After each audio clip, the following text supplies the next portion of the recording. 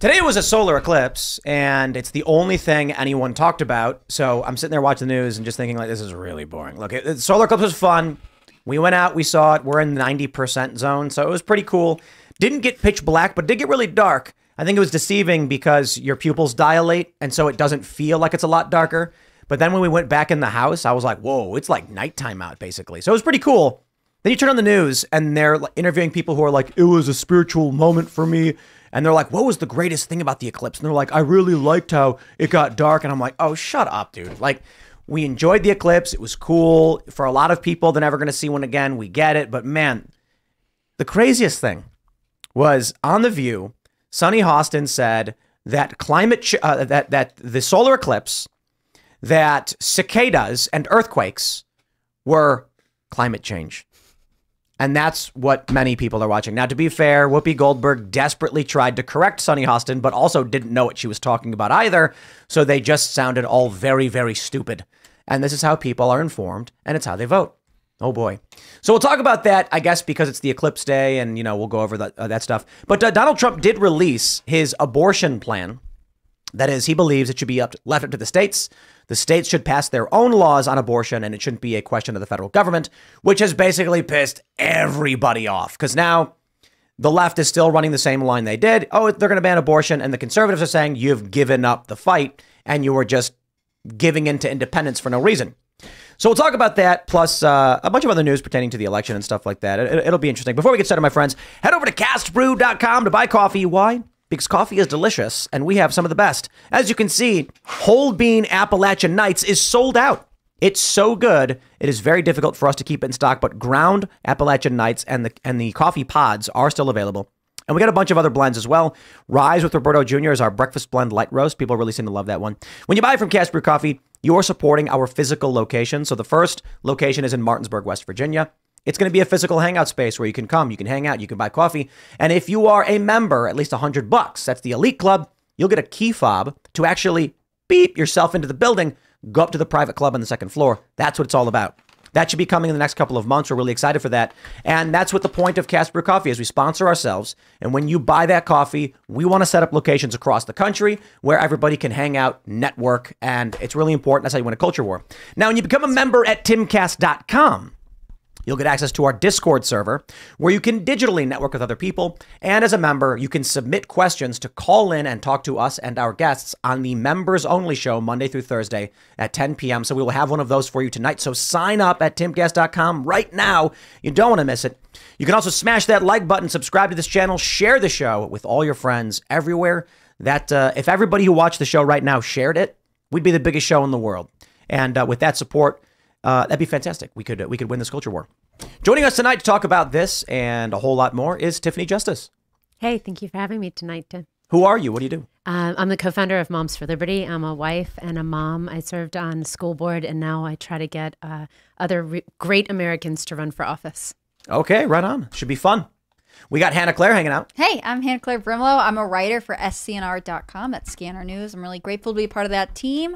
Um, I I can't remember the rest of my intro. Ian's it was here. pretty good. I like that. It. was almost good. That was good. Shout out to your team. Yes. Who, who's on your team, by the way? Uh, Chris Carr, Cassandra McDonald, Chris Burtman, Adrian Norman. It's been a. It's. I, am really. Uh, it's so cool to see the newsroom, and I think I'm coming up on my third year with that team, so it's very, very great cool. team. I know those people personally. I love them. Yeah. Thank you, uh, Hannah Claire. Good to see you too. Tiffany, great to meet you. I went for a walk uh, this morning. I went for like a three to four, three mile walk, and then I worked out, and then I got a sports massage, got cupped. You guys ever do cupping? I think we talked about it before the show a little bit. He has giant purple welts all over his Yeah, back. and like some some of these cup, what they do is they stick like a suction on your back, really tighten the suction, and let it sit there for like a thirty seconds to. They a move it around. You oh, did they? They didn't move Phelps mine. He just put new ones on in different spots, and some of the spots you get it sucked, and it's like you feel the juice getting pulled out of something, out of the tendon or the muscle. Some of them was like I mean, Fascia. The fascia. And one thing he told me was cool. He's like, when you have a tight spot, because my neck was a little tight. When you have one, you got this fascia, this interconnected, you know, web of of muscle in your body.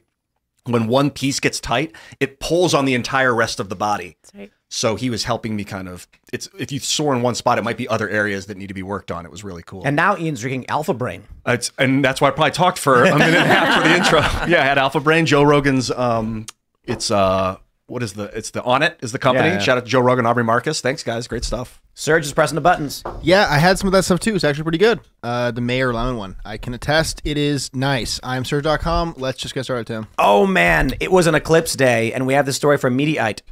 Sunny Hostin blames eclipses and earthquakes on climate change as View co-hosts scramble to correct her. Oh man, can I just play the clip for you because it was worse than that. She mentioned cicadas too. And you know, we jokingly talked on this show about the plagues of Egypt, like darkness, locusts, whatever. I don't think earthquakes is one of them. But uh, it seems like she's seriously arguing some kind of pseudo. It, it's it's it's crazy because we can joke about the plagues of Egypt in a religious context. They actually have some kind of cult like pseudo scientific worldview. Let me play the clip for you guys leaving. We've got a solar eclipse. Uh, we've got the earthquake. The she ran down the hallway. The rapture then, is here. The rapture's here. And then also I learned that the cicadas are coming. Cicadas. Cicadas. Although cicadas. For the first time in Cicada, like cicada. No, no, no, 100 no, years. no, no, no, no, no. Two That's- different. No, two, no. well, they- this is what I read. There's Two different there's times. Two different kinds of Yes, cicadas. two different coming. times times are coming. The good cicadas Types, and the bad But No. for the first time in, in many, many years. No, And seven, so- every 17 years this happens. Well, that's not what I read, but maybe But- you know, maybe Well, you know better. I- but in I a would way- say all those all those things together would maybe lead one to believe that you know either climate change exists, That's more or something point. is really Except going earthquakes on. returning. Earthquakes are not at the mercy of climate change. It's underground. It can't. I don't it, think it, that. it happens. and, and the eclipse Okay. Now, look. Let me break down for you this show. It's it's so incredible what the view represents, okay? Whoopi Goldberg is a moron. Sunny Hostin is a moron. It's a whole bunch of morons who have no idea what they're talking about, informing millions of people every day. That's right. Let's start with what Sunny said, which is moronic. You have cicadas. Okay, it's mm-hmm. cicadas, but that's fine. That's fine. I don't mind when someone mispronounces a word. It means they learned it from reading, and I can respect that. So she was actually seeking out new information. And Sunny is actually not completely wrong on the rarity of this cicada a moment. Whoopi, thinking she's much smarter and Sunny is wrong, then no, no, it's it's 17 years. I'm okay. The cicadas are not because of climate change. The solar eclipse, heavens, is not because of climate change. It's just the moon. Earthquakes are not climate change. We had that, I was a New Jersey politician? And can I just pull this up so I can also debunk Whoopi Goldberg? The 13 and 17 year broods that will emerge from underground this spring will be appearing together for the first time in 221 years. It is just by nature math. If you go 13 years, every 13 years, and you go every 17 years, eventually they will hit at the same time. It's just math. Classic patriarchy using math to oppress women. I don't understand. Prime numbers. I feel bad for women because of the view. Yeah, I do too. I do too. Cool if there's a guy on This that is not panel. who I want representing me. This is, we are not sending our best. but it's it's safetyism. I mean, because she they want to con- they she has to have a reason why all of this is happening because it of course it's humans, of course it's going to be climate change because they it makes them feel like they can control it, but you can't control earthquakes. That's scary for them. I think Un- unless, unless maybe there's a government program with the earthquake weapons, I think like it in that movie, Tremor blaster. What, what Yeah, was, yeah. what was that movie, The Core? Yeah, I've still never seen it. when they when they drilled down. Yeah, because the government was using earthquake weapons and it stopped the rotation oh, of the core of the Earth. Yeah, I So maybe script about that's that. true. Perhaps that's true. No, to me, this shows how little they understand about environmental concerns because they're just blaming actually anything that happens outside on the environmental changes, I guess. And it makes me think you're like, we, we always talk about how a lot of millennials say they're not going to have children because of the environment, right? Like this is just becoming an excuse for anything. When you don't do your homework, you can start saying, "Well, the environment, I Climate could change. not climate change. I just can't like Yeah. can't show up for it. Well, climate change, like Is there a reason why you missed work? Ah, when change. if you have to break up with someone, be like, it's not you, it's climate change. Like it's, it's climate, amazing. Climate changes. That's what climate does. When the moon moves through the sky, the solar climate is changing. When the tide comes up, the climate is changed. So when they say that climate change is like a specific thing, they're missing the mark. They want to create like ca- all caps climate change, like a like a proper noun specific thing, but. It's just you know climate changes and then you build a new technology and it changes in a different way and then you do But a the different audacity they could do something to stop earthquakes. I mean, the idea that they could do anything to stop nature and the force of nature, hurricanes. That's crazy. It's crazy. or or The make- power trip. like, to okay, the- I mean, I don't. I do not believe the government can make earthquakes. I believe that you can drop a nuclear bomb on the ground, which can create a seismic shock similar to that of an earthquake to a certain degree. But I mean, we're looking. What, what what was it like a seven point something in Taiwan? Yeah. I don't. I don't believe there are earthquake weapons. Sorry. I- Really? I- yeah. I don't believe it, but I don't. I wouldn't say there are none with, Can't with rule certainty. it out, says Ian. Because like it's a good weapon. If you had control of one of those, you could really mess somebody How- up. Yeah, fear's a very powerful tool. So I can certainly understand that the government may have access to technologies that we are not familiar with. I think a lot of UFOs or UAPs they call them now are probably experimental aircraft or something. I think I think in more than one instance we know that is actually the case. People are like, "Oh, I saw a UFO," and then it was like, "Oh, actually they were testing some kind of aircraft." I don't know for sure, but based on our modern understanding of science, I don't think you could trigger uh, like short of maybe like fracking, like a serious endeavor of launching a massive uh, operation of drilling into the ground and injecting frack fluid to create tensions. I don't know how you, You know, remotely trigger earthquakes. Tesla I'm actually, te- Nikola Tesla in his New York apartment was working on like vibrating something, and he caused a local earthquake in the city. And the cops came down and were like, "What are you doing?" And they shut him down. And he had to go to this warden. He had to leave. I, I'm pretty sure they shut him down after that happened. So he actually legitimately caused an earthquake, and I think he was just working with electricity and vibration. He was like, "It's not me. It's climate change." yeah, and they're like, "What are you talking about? What's Yeah, climate change?" that's- And he's like, "Damn, I came back too." And that was Too, too soon. That was like a hundred years ago that he was doing that. So if he was able to figure out how to vibrate, create a frequency that caused the Earth to start to shake, shiver. Okay. Okay, so so okay, fine. There is there is a, a controversy over whether or not man can create earthquakes, but the solar eclipse, okay, being caused by climate change has to be one of the funniest things, and it shows you that these people are they're a cult, okay? Yeah. They don't know what climate change means. They have no idea. They're like, it's an eclipse, it's climate change. It's like we, we predicted this eclipse 50 years ago. They they were playing the, sh- the the the from the 70s or whatever, where they're like, that will be the last total eclipse that we'll see, and the next will be in the year 2024. And I'm like, that was like 50 years ago. They said that. Okay. And Have so you ever been in the path of totality? Have you ever? Uh, like, I had a little like fear of missing out today. Part of me was like, "Gosh, I really should have gone and seen it." Like, I, I don't think you- so. No. No. Did you see ninety percent? Yeah, That but was I, today. But I kind of felt like I have people, I have friends who went different places. I think, it would, I mean, it would be pretty cool. Totality would be pretty sweet. it was pretty unifying to see how many different kinds of people were like, "Yeah, I want to see this thing. I will. I will leave my office building. I'll. I'll take my kids out of school. Like, I will make a point to see this thing that we won't see for a very, very long time. Some of us never again. You know, like I, in this very, you know."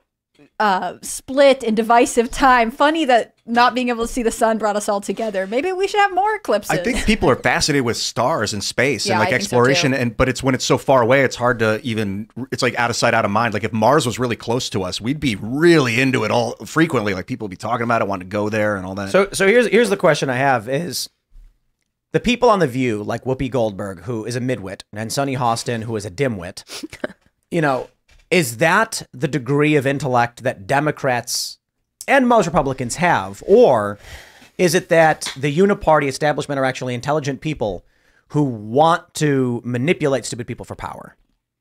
Like, are the people who are behind Joe Biden intelligent and capable of a conversation around what they're doing, or are they just as stupid as the View hosts? I don't know. I, when I watched like AOC and Kamala Harris, I, I do- people say like, "Oh, they're idiots." I don't think they're idiots. I think AOC knows exactly what she's doing. I think Kamala Harris knows exactly what she's doing when she's messaging to people. So I, I think that they're not quite as stupid as, as everyone would like to think they are. yeah, but the maybe- people on the View are. But what's their wisdom level? You know, yeah, that's what I well, wonder. I mean, Sunny, I, I was sharing. Sunny also said that um, her son walking down a beach in Florida was yelled. Someone yelled the N word at him several times. Like, I I think she's a liar.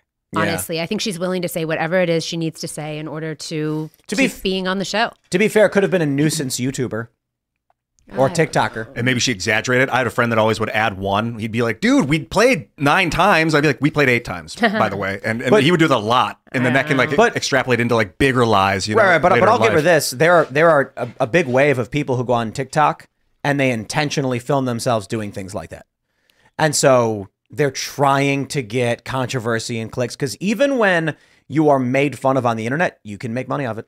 Maybe. I think uh, what she was saying was in the frame of reference of like uh, you know America's a very racist country, and and that you know you could just walk down the beach and be a black person and get yelled at in you know especially Florida right? Florida's just you know the most transphobic racist state we have right? That's what the, that was has been sold.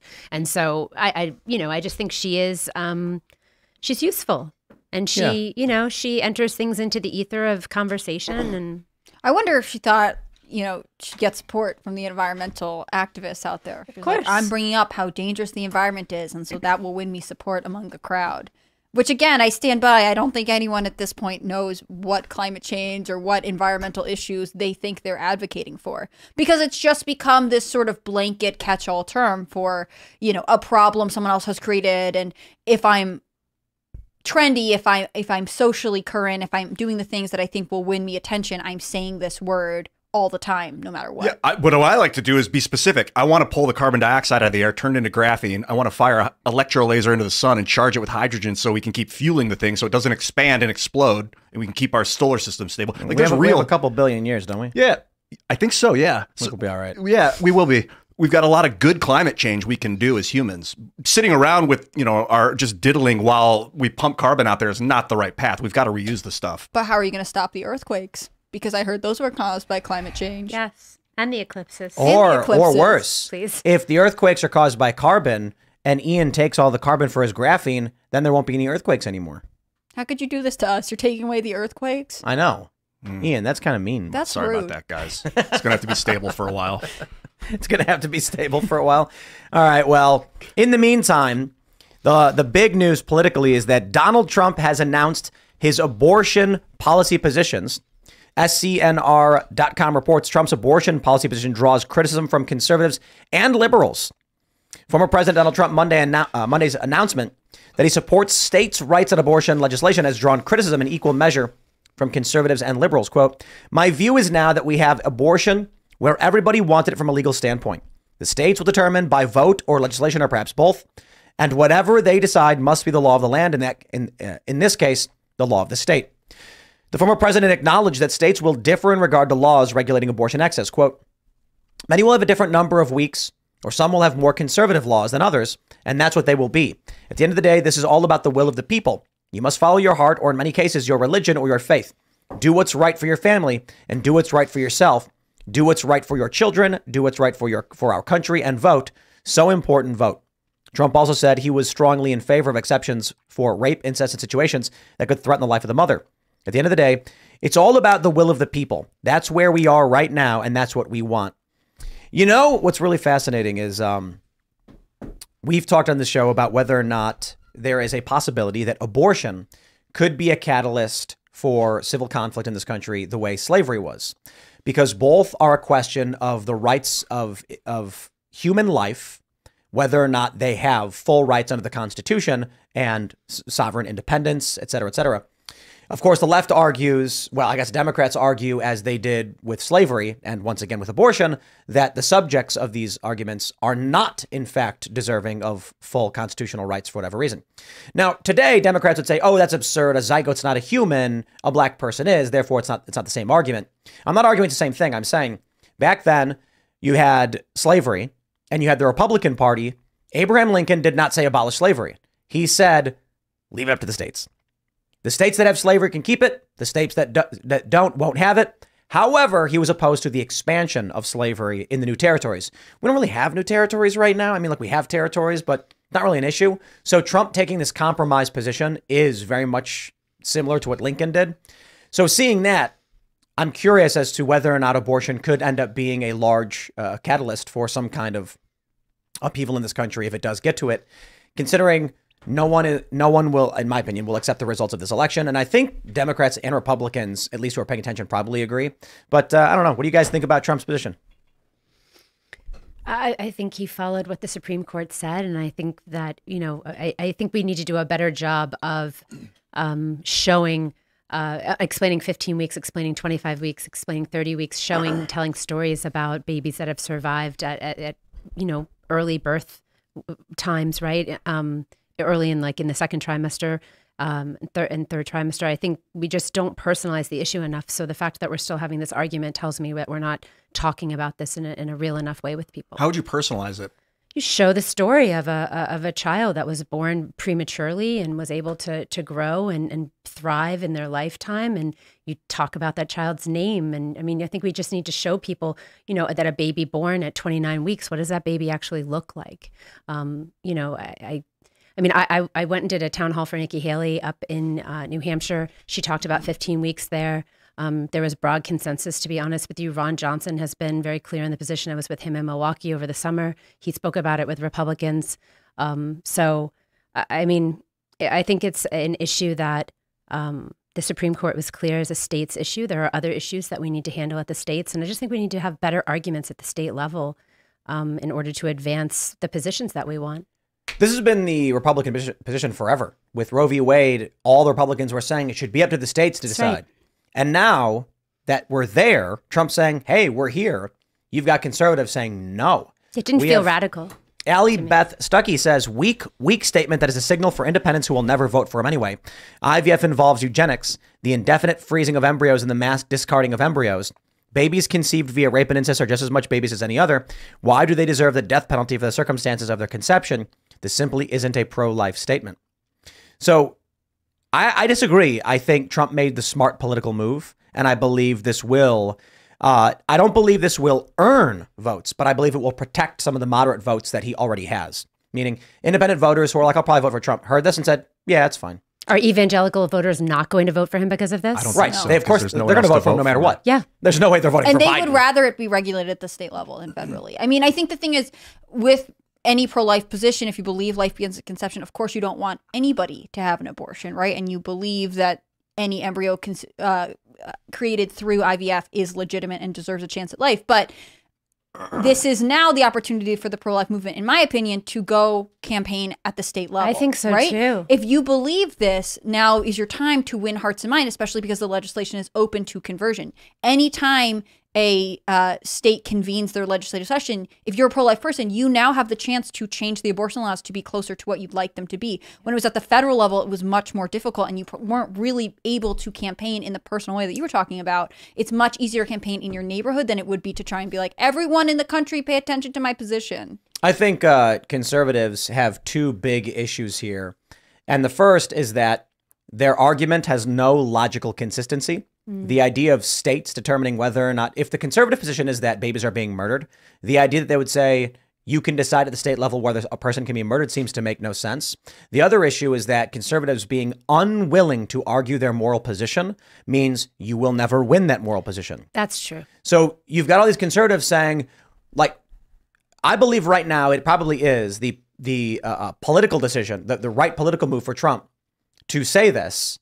Uh, however, the problem is in the long term, the, the goal for Trump is we got to win the House. Okay, he, he he he posted on Truth attacking Lindsey Graham, saying he's too absolutist on this one. He's going to hand the House to Democrats. We got to win the House. It's more than abortion. Abortion's not the only issue, and that's why I think politically it's the right move. However, on the issue strictly of abortion, conservatives have to literally argue. If you don't argue, then the only thing anyone hears is you're stripping women of their rights. Liberals are arguing ad nauseum, and Republicans are just bowing out and hiding. Okay, so then you have a guy who's no idea what's going on, and he sits down, and someone goes, "Hey, did you hear they want to take women's rights away?" And he goes, "Really? How?" And they go, "The banning abortion." He goes, "Huh." Then he looks over the Republican and says, "What's really going on?" And the guy goes, "Don't talk to me about it." And he goes, "Okay, I guess they were right the whole time." Right. Conservatives aren't making any moral arguments on this. That's why I wish they would talk more about IVF because they all immediately got scared and like, no, of course we don't want to ban IVF. I don't think you should ban IVF, but I think when you like IVF, you create. There's a couple different ways to do it, but you create a batch of embryos, and then the doctor will say these ones, these three of the six are the most viable, but we'll put all of them on ice, and some of them don't survive being frozen. At any point, a conservative could say, you know, okay, I believe that you have created six children and that you have a moral obligation to see all of these pregnancies through in some manner. You know, like it would be a more interesting conversation and you would be able to talk about your morality. But instead, they get worried that they're going to offend someone or be upset if they were to say life begins at conception and I think you have an obligation. They just immediately back off. They get scared. Yeah, I think to that point, the only way out is through on all of these issues, and we're going to have to have those conversations. You just have to. You have to talk about for it. like because I'm kind of I'm very neutral on this issue. I, I have been for a long time. I don't like it. I don't like killing in general, and I really don't like that. But um, you know, also time and a place for these kind of things. And, and in war, killing is okay, I guess. There are time and a place for killing, I guess. But like, if you could net neural net these these babies in the womb, little thirteen week, maybe like a thirty week or a twenty week child, and they're somehow they're able to communicate somehow, and they say, "Please don't kill me," and you get that communication from one of these things, things. Well, these that's- people. yeah, I would immediately get on the do not kill that thing. Well, and to that point, there are different charities that will do ultrasounds for people and show them the baby before they abort the baby. And, and once you make that connection, I mean, I've been pregnant five times, had four children. Um, once the first time you see your baby on the ultrasound and you can see your baby moving, I mean, it's just it's a totally different experience. And so there's, I I think to your point, you're right. I think we should be talking about the issue more and debating, and even even the 15 week debate to me is a relevant debate to have. Yeah What's that? the idea that you would say no, you would ban abortions after 15 weeks, and I, I still do I agree with it? No, but um, is it better than you know going to the end of term? Yes, and I would think just even in the conversation about 15 weeks, I still think that we would have And 15 in- weeks is because of pain, right? it's because of pain, yeah, and um, the fetus can feel pain. and and so I just think that in this moment of time where we do have babies that are being aborted later in pregnancies, that we should be willing to at least have the conversation, talk about it in an honest manner, with the ultimate goal of ending, you know, abortion because it is murder. I think there is a strong historical precedent that abortion will be made completely illegal. It, uh, I don't know exactly how serious violence could get around the issue. I think the current form of the conservative pro-life argument, uh, I, I believe Allie uh, Allie Beth Stuckey is correct on it's not a pro-life statement. It's morally it's morally inconsistent. I think this is another problem for Republicans in that you can't come out and say this is murdering a baby, but also we think states can choose whether they do that or not. It doesn't. That, that's and so the the argument then for a moderate person is they can't possibly hold that position unless they're hypocrites. You can't say they're killing babies and then come out and be like, but you can decide if you want to keep doing that. You can't claim it's murder and then say it's okay somewhere. And a lot of people are saying killing is never right. They'll say that. I saw that on Twitter a lot today, and I'm like, I'm just thinking about war. That when time sanctioned killing is often the right way to go. Horribly in the I- history of humanity. I That's think what war is all about. I think it's fair to say it's never right, but sometimes you're backed into a corner. But sometimes you have to stop the enemy. Like World War II, we, But we doesn't mean weren't it's backed into a corner. We just went over there That- and stopped the guy. To that point, I don't think anyone's saying that it's right. That's why I think I disagree with you a little bit. I, I don't think that Trump. I think I I don't think there was anything about what he said where he said it was okay. I think he said right now it's a state level issue, and and any issue that we're dealing with something that's a, a state level issue, we need to engage fully and make the best argument. Sure. And, And I But will but it shouldn't be a state level issue. That that that is morally inconsistent. uh, well, it, but it is right now. No, all all right. I'm saying the only morally consistent position for someone who's pro-life is the Constitution says human a, a person in the United States, you don't have to be a citizen, has inalienable rights and due process rights. You can't. So I, I've uh, let me let me do this. I, I love I love pulling this up. The Fourteenth Amendment because I believe uh, the Fourteenth Amendment. Let me see if we actually this is the right one. Okay. The 14th Amendment, this question needs to be answered. Section 1 All persons born or naturalized in the United States are and subject to the jurisdiction thereof are citizens of the United States and the state w- uh, wherein they reside. Period. No state shall make or enforce any law which shall abridge the privileges or immunities of citizens of the United States, semicolon, nor shall any state deprive any person of life, liberty, or property without due process of law, nor deny to any person within its jurisdiction the equal protection of the laws. The Supreme Court needs to answer the question Are the unborn persons? Yes or no? I'm not saying yes or no to that question. I'm saying the only morally consistent position is if you believe babies are human beings, they qualify as not citizens, but at least persons, mm-hmm. and they cannot be denied their rights without due process. Meaning, under this, if, if, if it is to be lo- logically and morally consistent, if a woman wants to get an abortion for any reason under the 14th Amendment, she would have to go to court first. I kind of think that like they messed this this uh, section up. Like, why didn't they say all persons born or naturalized in the United States, etc., down to the third line, uh, deprive, nor shall any state deprive any person of life, liberty. But why not say any person born of life, liberty, or property? Why are they? Why did they go from persons born or naturalized to just because persons? you're saying like if you're not a citizen of the United States, we can't deprive you of life or liberty.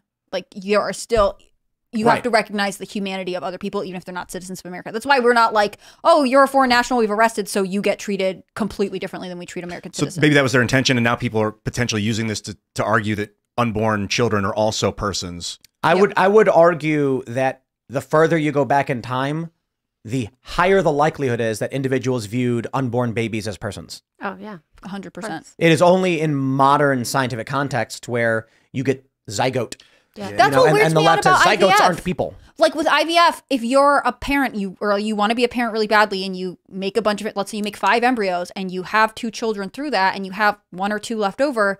Then suddenly those aren't your children. Like it is weird how much the brain can switch this on and off. When you wanted them, they were potentially children, and when you didn't want them, they are no longer children. That's bizarre to me. They either are or they That aren't. was like, Or- that- yeah, go ahead. Or that there are laws where if a woman is pregnant and you commit a crime which causes the death of the pregnancy, you get charged for it as as Right. yeah. The baby counts then. Right, the baby counts then. So I'm not saying I have all the answers. I'm certainly saying there is a current political conundrum for Republicans where they fear that if they actually address the moral issue, they will lose. I got bad news for you. That means conservatives publicly are admitting they are in the weak moral position and they are uh, not on moral grounds. Like, I, I don't know how else to put it. Unless uh, maybe that's unfair, and it's conservatives believe people are inherently selfish and evil and would want to kill babies. So there's no point in arguing their position because they'll lose political power by doing so. Like, I suppose that's what's being said. I feel We, like like Republicans are saying we cannot win the argument. I mean, I think That's until that's, you that's a crazy thought until to you- say about humans. like until you can prove that these unborn children are actually people, that they actually have some sort of like capacity to be a human before they're born, unless you can like prove it, there's no real argument But to make. I this is think. where all humans ever have come from. it's like um Ever. it's, not never, like it's gonna it's turn never into- a puppy at the end. They're Yeah, people, you but they're like people seeds. It's like if you hand me a, a handful of oak weird. seeds. If you handed me a handful of oak seeds, uh, you wouldn't say, "Look at all these oak trees in your hand." Th- These are seeds that maybe, if they're treated right, will one day be an oak tree. But the Well, it's very different from like an embryo. that Yeah, you're talking is about like an egg. An egg. That's So different. so so what if what if the tree is planted and it's sprouted and it's got a little stem? It looks good, but if someone steps on it, it's not going to become an oak tree. yeah, it's you just get that's, process. that's, that's called killing the tree. you oak might you might argue it has become a sapling, but like an oak sapling, but like, like when it, it pokes out of the ground, if you, if you dig your heel into it, you know it's not going to become the oak tree that you thought it was going to become. And Well, it's the same because you thing with killed these embryos. Yeah, And if there is a small Sure, child, sure. yeah, does that? and have if a less- small child is hit by a car, well, they're not going to be a human, I guess. it's never going to be an adult for You're sure. only like a quarter of one, to be fair, right? yeah. It's- it's a Are you talking about the three fifths argument from the? What? No, no, I wasn't. Thank you. Well, I think until until they're born, they're not they're not like um they're not people. because you don't believe Legally. life begins at conception, but like, I think they're alive. I just don't think they become people until they're born legally. but so what are they in the interim? Just But by- budding seeds of humanity. So but if you kill a pregnant mom, you get charged with. Yes. If you take her unborn child away from her by force against her will, you deserve that Hey, murder look. charge. so it it's is a kid it's fine. then? I actually think it really does get to a point where there's no reason to argue it. There's there's no reason to argue it. The Supreme Court needs to answer the question: Are the unborns person Roe uh, persons? Roe v. Wade was a very feeble attempt at this, and there was actually an interesting, I think, originally, because it was actually Roe v. Wade. and There was another case in the '90s, I believe. Roe v. Wade. Uh, it's been so long since we went over this, but there was basically the the well before a certain amount of time it's it's not capable of surviving on its own. But after a certain amount of time, when it certain amount of time when it is, well, now there's a question of whether it's now attained personhood rights as it is an independent being capable of surviving on its own. There are there are conundrums there. So one of the big issues we have right now is that liberals are arguing for up to up to birth abortion. But Now, it's not really about that. It's really about women's rights to them. Like they, you know, they don't frame it really around the. I mean, you're correct. We should be talking more about the fact that they support up to birth abortion we Right. should, when we talk about the baby, but they don't talk about any of that, right? But when we debate them, they say, "So what? It's a woman's right to choose." And my point has always been, look, I'm I'm not a staunch pro-lifer. I don't have a hardcore the baby must always survive. I'm, I think there's challenges in terms of what the government can and can't afford, enforce as to to how a person shares their body uh, with another person. But the idea that the baby could survive on its own, and you would grant a woman the right to kill it simply because it is inside of her at the time doesn't make sense to me. And so, uh, you know, we had this debate. I think it was with Lance from the Serfs when he w- when I said, okay, so a woman is pregnant. She no longer wants to be pregnant. I'm totally fine with her not being. I, I am not for forced birth or whatever. He kept saying that forced birth. I'm like, no, no, no, no. I, I agree with you. No forced birth. How do we get the baby out? And he was like, abortion. I was like, well, do, why kill it? Why do you have to kill it on the way out? How about you just take it out? And he was like, huh? You don't have to kill it.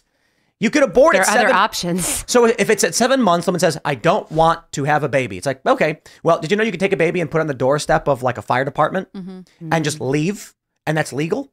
They will, they will, they're, what, what are they called? Like baby boxes. Baby Is boxes just some jurisdictions, or is that a federal thing? it different places have different regulations for it. But there will be a place where it says like baby safe zone. Yeah. I don't want some random woman to go do that tonight, thinking that every no, I fire mean, like station. these better are than things they throwing in a dumpster. They look like like when you go to the library to drop off your books. It's you put a baby in there. It's because you can put them in there and they're safe. The heating safe. An alarm goes off in the fire station so that the child isn't left in exposure to die.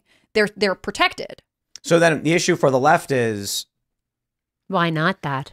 So we're uh, uh, we're gonna segue into the next segment, and I'm going to say the word Civil War because the movie is coming out in two days.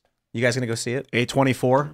Is that the A24 production movie. company? Yeah, we got we got the first tickets available for the pre-screeners on Thursday. I'm gonna wait. going If on a I field hear trip? if I hear good reviews, I'll go see. it. the the bet everyone needs to make now is: Will there be a character in the movie based on me? I mean, I guess I'll go. If a bunch of people go, I'll go. If We, we, we, we only got a couple tickets Okay, because yeah, the, the earliest showing is four. That'd be funny if there was like a guy on the internet yelling about it. I mean, oh, you know this is not going to come in. I mean, I've don't been, say I've been- that. I've been talking about it since 2018, and there's a lot of people who watch the show. So I would be surprised if they weren't at least aware of the things I've said about it. So, but doesn't mean they would include a fictional version of of like a podcast show doing something like this. But uh, before we segue, up, my final thoughts thoughts on this are there there is no tenable solution between people saying you are murdering babies and the left saying we have the right to murder babies. Mm-hmm. Like what, what I mean by that is I'm not being cute. When the left argues that a woman can abort the baby at nine months, they're literally just saying kill the baby before, before it can breathe air. Mm-hmm. When the right argues it is always killing a baby, it is of the moral view that life begins at conception and you have no right to do it. When the left argues we can abort at nine months, they're arguing they have a right to kill a baby. I see this as such a massive moral divide. It's in many ways worse than the issue of slavery.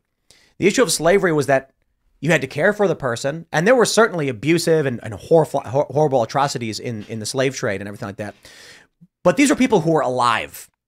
They were alive. This is a question right now, mor- morally, of whether to end a life or not. So there is a much more serious element to this than there was to slavery.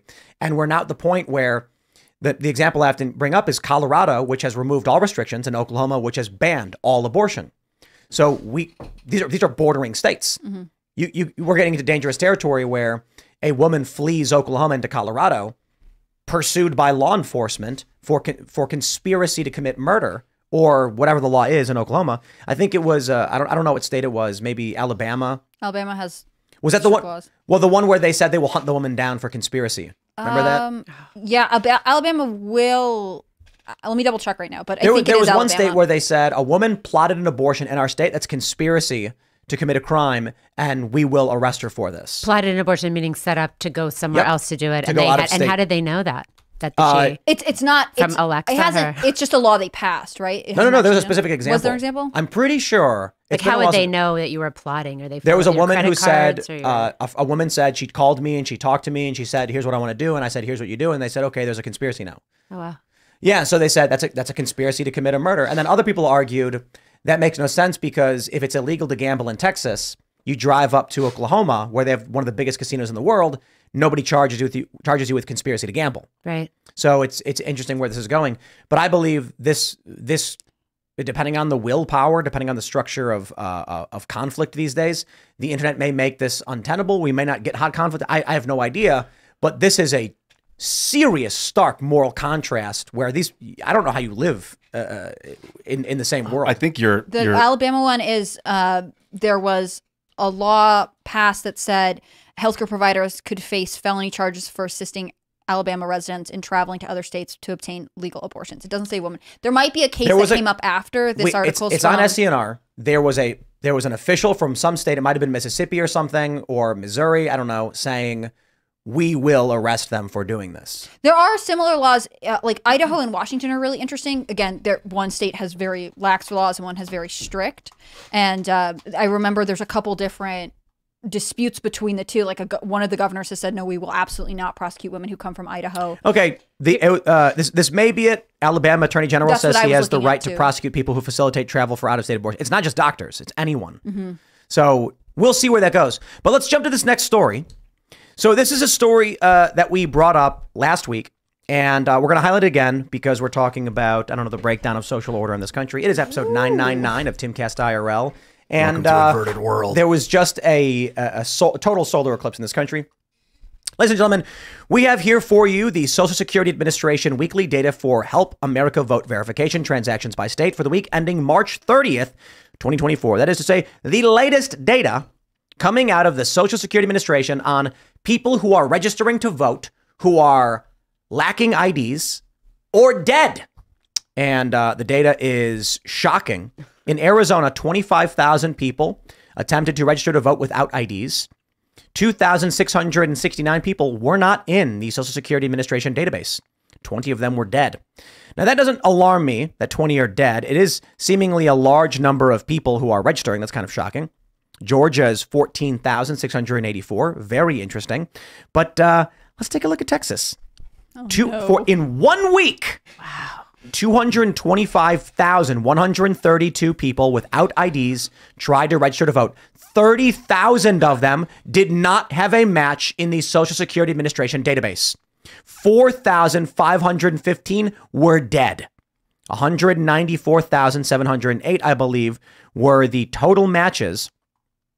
But uh, uh, single match alive is the number we're actually looking at. These are the ones that likely were confirmed registered. It's 190,193. Now, let's just make sure, for the purpose of this video, we give you the proper context and we show what is HAVV. HAVA is the Help America Vote Act. Requires states to verify information of newly registered voters for federal elections. Each state must establish a computerized statewide voter registration list and verify new voter information. That's important, new information. HAVV, which we're looking at right now, to comply with requirements of Section 303 of HAVA, Social Security Administration developed a new verification system known as the Help America Vote Verification in August 2004. States must only submit a request to us for new voters who do not present a valid driver's license during the voter registration process. HAVV verifies the accuracy of the name, date of birth, and last four digits of Social Security number submitted and sends an indication of whether our records show the individual as deceased. So let's break this down. In Texas, according to this website, 225,132 individuals submitted for a new voter registration and did not have an ID. 30,000 of them came back with no match. Perhaps some of those were accidents. Perhaps some of those were I wrote down the wrong last four of my social or my name was misspelled. But 30,000 out of 225 coming up with no match is quite alarming. I don't know how that could happen unless these people are not in the Social Security Administration database for some reason, not citizens. 4,515 dead people tried to register in one week. So explain this to me. Does that mean that they tried to register, they went to go register, and in the time between when the the information was gathered, they died? So over 4,500 people died who, who were new voters. I have no idea. I guess. That's a lot of people dying. Yeah, Almost really suspiciously quick- high. Suspiciously high. Yeah. And so uh, who are very interested in voting. No, we, we we did cover this uh, last week, and uh, this is just the latest update of the numbers. the reason the reason I bring this up is because I want to say, do not be surprised if Democrats win Texas and Missouri. Can you look at California? Just because it's a similarly sized population, it's obviously a general. Three thousand one hundred thirty-seven. Okay. Total transactions. Eighty were dead. One thousand seven hundred eighty-four were found to be alive. One thousand two hundred seventy-three did not have a match. That's a third of the people didn't have a match. Yeah. That's raising any alarm bells for anyone? Well, uh, how do you did you spell your name wrong? Like, how are you not in the Social Security Administration database? I mean, I have a double first name, and it's always been a problem because is it a space? Some places don't let you have a double first name. Like, I That could proves believe that there is a small percentage of errors, but over a thousand seems too high. One, I, you know? I, I think, I think we have it. One third of all California residents who registered were named Hannah Claire, They're all trying to steal my identity. and and the problem was when they were registering and they said Hannah Claire, the people just wrote down Hannah. yeah. Even I mean, the- look, you would be so, this. This was like a. This has been a consistent problem for me. It's why I don't recommend double names, at least in America, because some states will not let you put a double name on your license. Some won't accept a hyphen. Like it is an issue, and so again, over a thousand seems too high to me. But just like I believe that maybe someone did register to to vote and then die. I just don't think it's 4,000 of them in Texas. That's too high. I think the Georgia number is interesting too. I mean, 14,000. th- th- Everything that I've seen about Georgia is like 99% of people are registered to vote. So even just having those high vote totals come, like new registrations coming in in that way is interesting. It's February 17th is the most alarming one because that's where you get Missouri with 23,000 dead people trying to register to vote. how out of seventy-eight thousand. Yeah, they really Yeah. screwed up by showing their hand there. They, that's like what a, a fourth of the registrar registrars were actually dead. That's insane, and that is not realistic, in my opinion. So what happens? That is more that's than a why I say the FBI should be involved. This is insane. I told you the Do- FBI is too busy FBI looking at do it. moms. They're too busy checking moms out who speak at school board meetings. They're very busy. Take a look at this. busy, busy, busy. Here's where it gets interesting 270 to win. Did you guys know that Joe Biden may not be on the Ohio ballot for the general election? I did Like, we know. are getting crazy close to weird Civil War esque, let's just call it echoes. Donald Trump didn't, uh, I'm sorry, uh, Donald Trump. Abraham Lincoln did not get a single vote in any of the Confederate states that wanted to become Confederates. And it was because the way it worked back then is that the parties would issue the party ballot of here's our list of party candidates you should vote for. And then you'd basically sign it and drop it in the box. And then it would go, okay, okay, we get it. You're a Republican, so you voted for all Republicans. In the Confederate States, the, the Republican Party did not issue any ballots. They didn't think they'd get any. So Abraham Lincoln didn't get a single vote. We now have, everyone was talking about Trump being removed from the ballot. The issue is in Ohio, the deadline for uh, submitting for the general election is before the Democratic National Convention, where they name their nominee. All they have to do is preliminarily, or, or, or I guess whatever the word would- be, they have to submit that Joe Biden is the nominee before the convention confirming he's the nominee. Otherwise, he will not appear on the general election ballot in Ohio. There will be no Joe Biden. Why did they schedule their convention for after this deadline? Well, take a look at this. These this is this is 270 to win. This shows the electoral vote count and we can see these are toss-up states, the ones that don't have any color, Nevada, Arizona, Wisconsin, Michigan, Pennsylvania, and Georgia. Let's say this.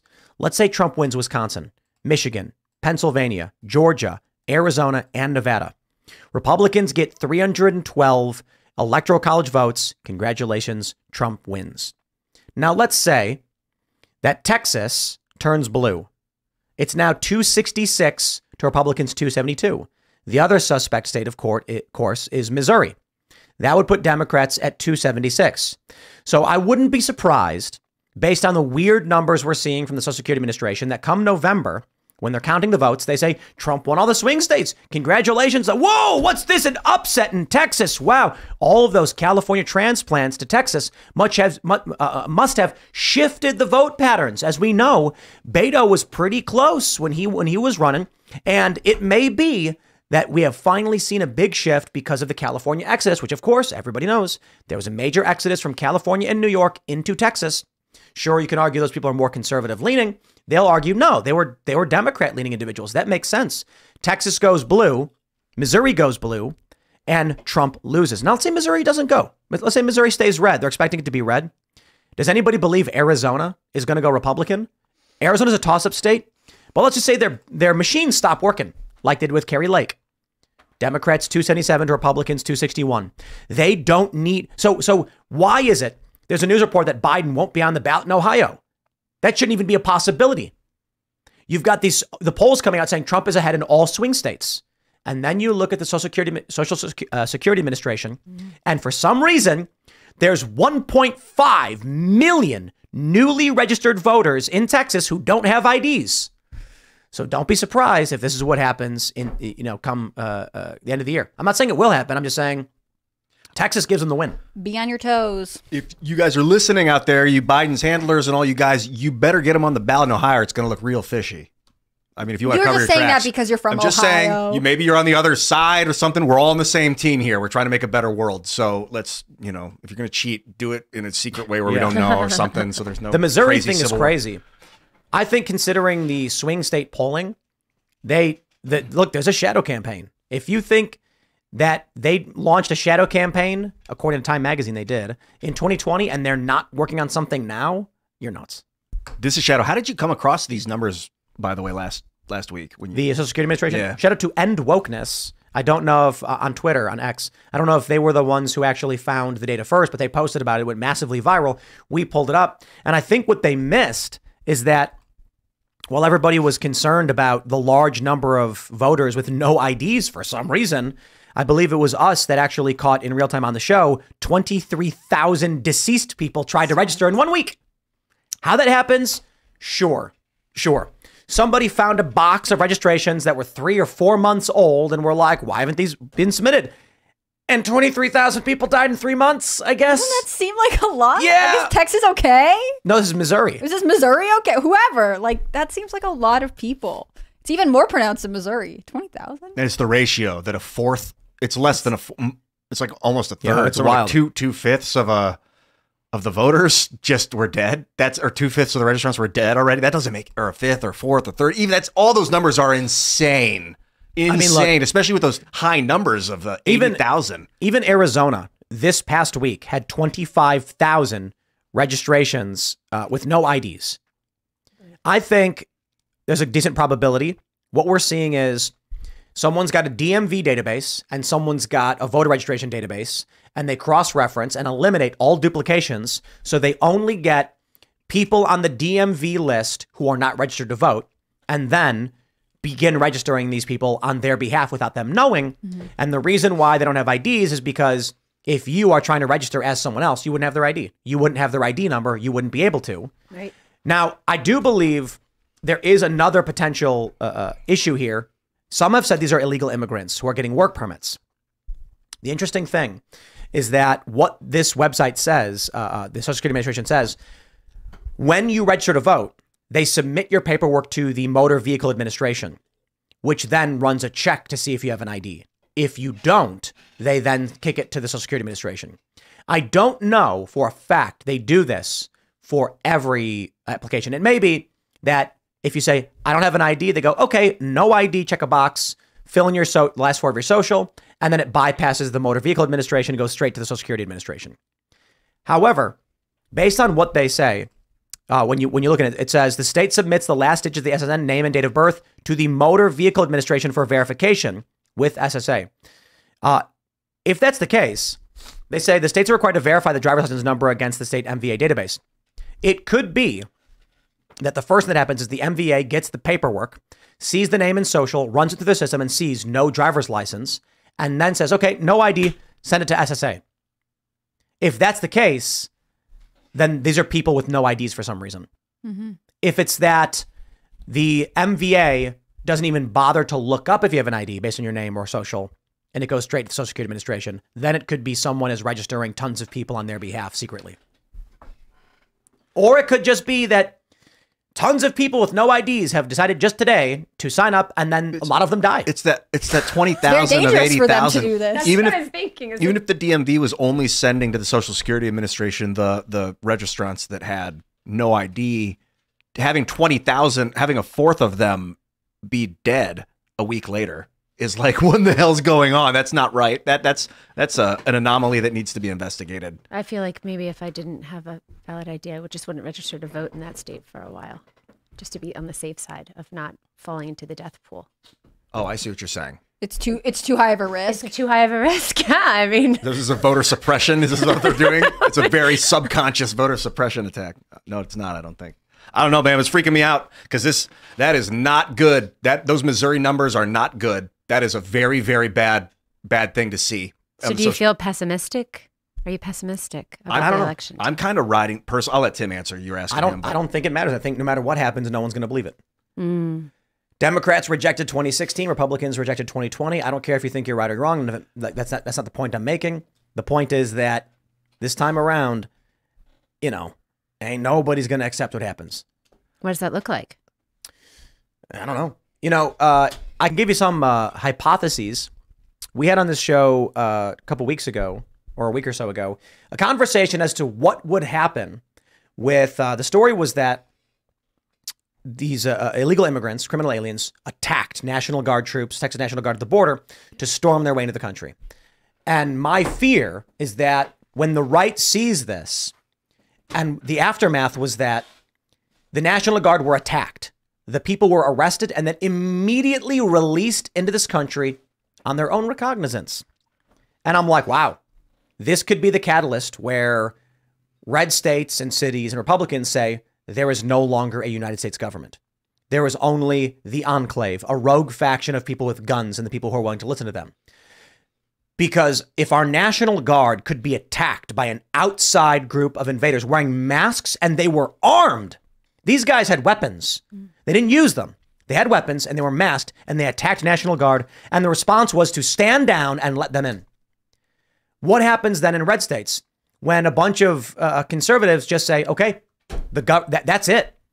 Whatever you're hearing in the news now, it's just whoever has the power takes it. There's no longer a functioning government. We are not going to be protected. You got the guy, I think it's in Arizona, an old man, had someone come onto his property. Cartels were shooting at each other, something like that.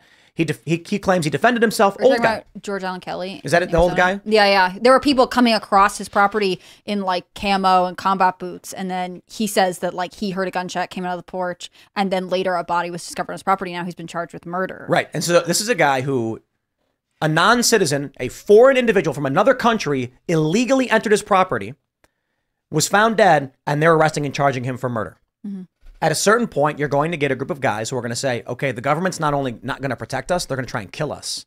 And what happens when these guys then go out and set up checkpoints, when they go out, and set up barricades around their town or neighborhood and say, we don't recognize their this government anymore. Now, the interesting thing on the show was that I was told at the time by the by the guest that it was not possible. It could never happen. It would never happen that individuals in this country would would stop believing in the power of government, and if they ever did, the government would quickly come in and just shut them down. Which brings me to my next story. We have this story from ABC 7 News. Video Early morning Bay Bridge sideshow fireworks temporarily block westbound lanes. Have you guys uh, seen the videos that went viral from this? No. Extremists, rogue actors, random crazy people took over the Bay Bridge in SF. They took it over. There's a video of a guy in his car. They're banging on the car. One guy jumps through his sunroof and he's cowering with his hands up, like, please don't hurt me. Please, I'm sorry. I'm sorry. They rip him from his vehicle, take it, and start spinning donuts on the bridge. And everyone said, Where are the police? Let me see if I can uh, play some of this.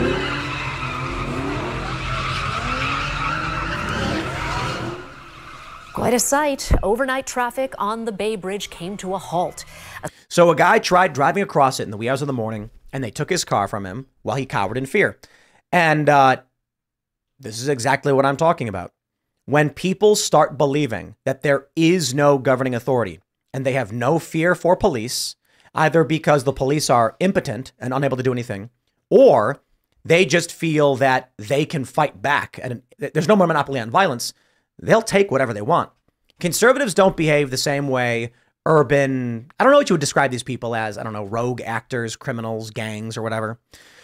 We saw this with the far left already back in 2020 when they literally took over city blocks in numerous cities and created their own autonomous zones.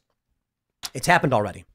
My fear is we are moving towards, especially after this election, an instance where conservatives start behaving in a similar but different way. Similar in that they too decide, you know what?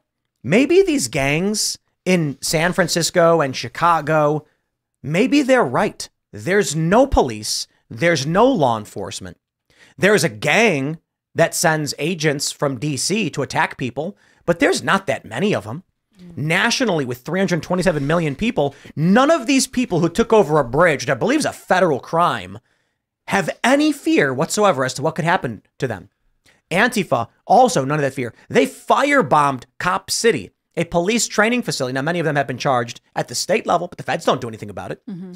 What happens when people on the right in rural areas say, yeah, they're right. There's no government anymore. We better do it ourselves. It's like tried that in a small town. Isn't that what that what that went around? I- People well- saying try that in a small town. I mean, is that what you're talking about? Like people militias in towns Well, protecting stop. Try that in a small town was basically pointing the finger at Antifa and saying, if you come here, we'll defend ourselves. Right. What I'm saying is, what happens when, just like these people think cops can't do nothing about nothing, federal agents drive up to a small town of 4,000. And before they can even get into the town, they're greeted by two guys in in body armor with rifles and helmets, and they put their hands up and say, "What can we do for you?" And the feds say, you can get out of our way and says, "Sorry about that. You got to turn right around right now. You're not welcome in this place." And they say, "Well, you you we're federal agents. We have badges." And they laugh and they say, "You got 10 seconds to turn around." The right will act very differently to the way the left does. We saw this with like the Bun- the the Bundy standoff, where you actually had a, there's a photo of a guy pointing a rifle down, looking over from the bridge. My fear is that, I mean, this this stuff out of out of San Francisco is is is just absolutely insane. People across the around the world can see that there is no more social order in this country. Isn't that the point, though? I mean, to weaken, Perhaps. you know, to weaken America to the point where you know world government looks, I guess, appealing because we just can't handle ourselves anymore. But what happens when the right adopts the same lack of confidence?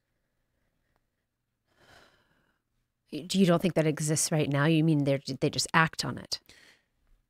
I would say right now, conservatives, the way they like, we're gonna get Mike Johnson in, and then we're gonna pass it. We're gonna block this the bill, while Republicans are screaming and begging for Congress. You've got elements of the left firebombing buildings, killing people in the streets. You've got gangs. I don't want to call them leftists. They're just gangs. These are these are these are. This is a city where gangs have just taken over.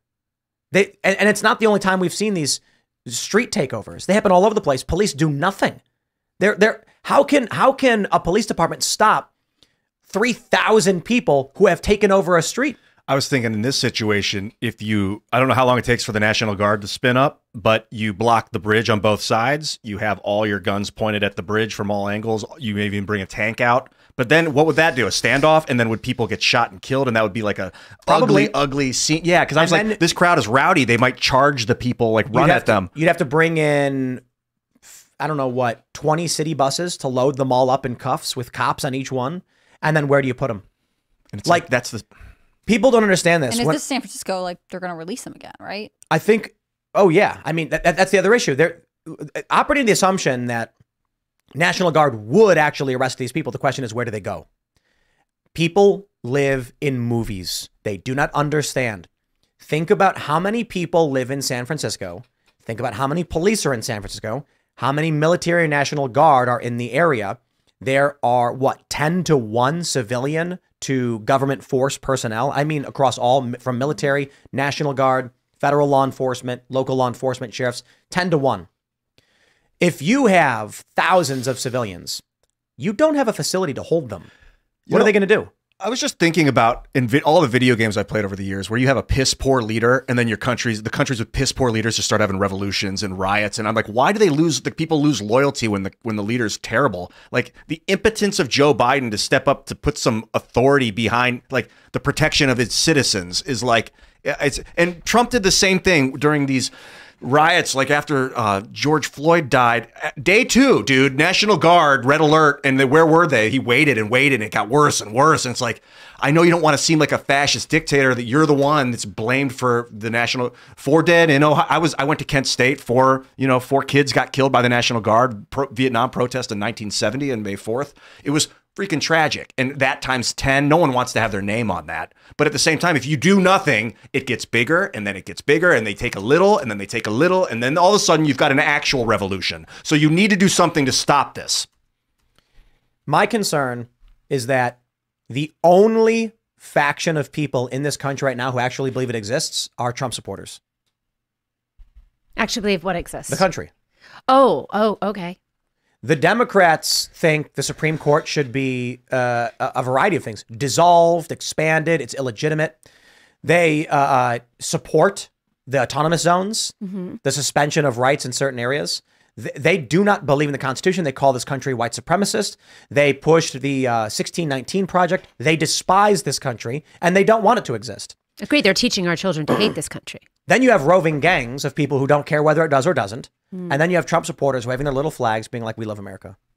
You asked earlier, what do conservatives do when, uh, if they get fed up with the system and they they lose confidence in the system? And a po- a positive thing that I've seen, I don't know if all of them are conservatives. People will say, "You're not doing it, so I'm going to do it," and they'll build systems that the government can't do, like free software social networks, things that are replicable among the masses without any kind of oversight. We'll build our own water pipes. If you're not going to give us water, and you're going to, we'll have to build our own water pipes. Then okay.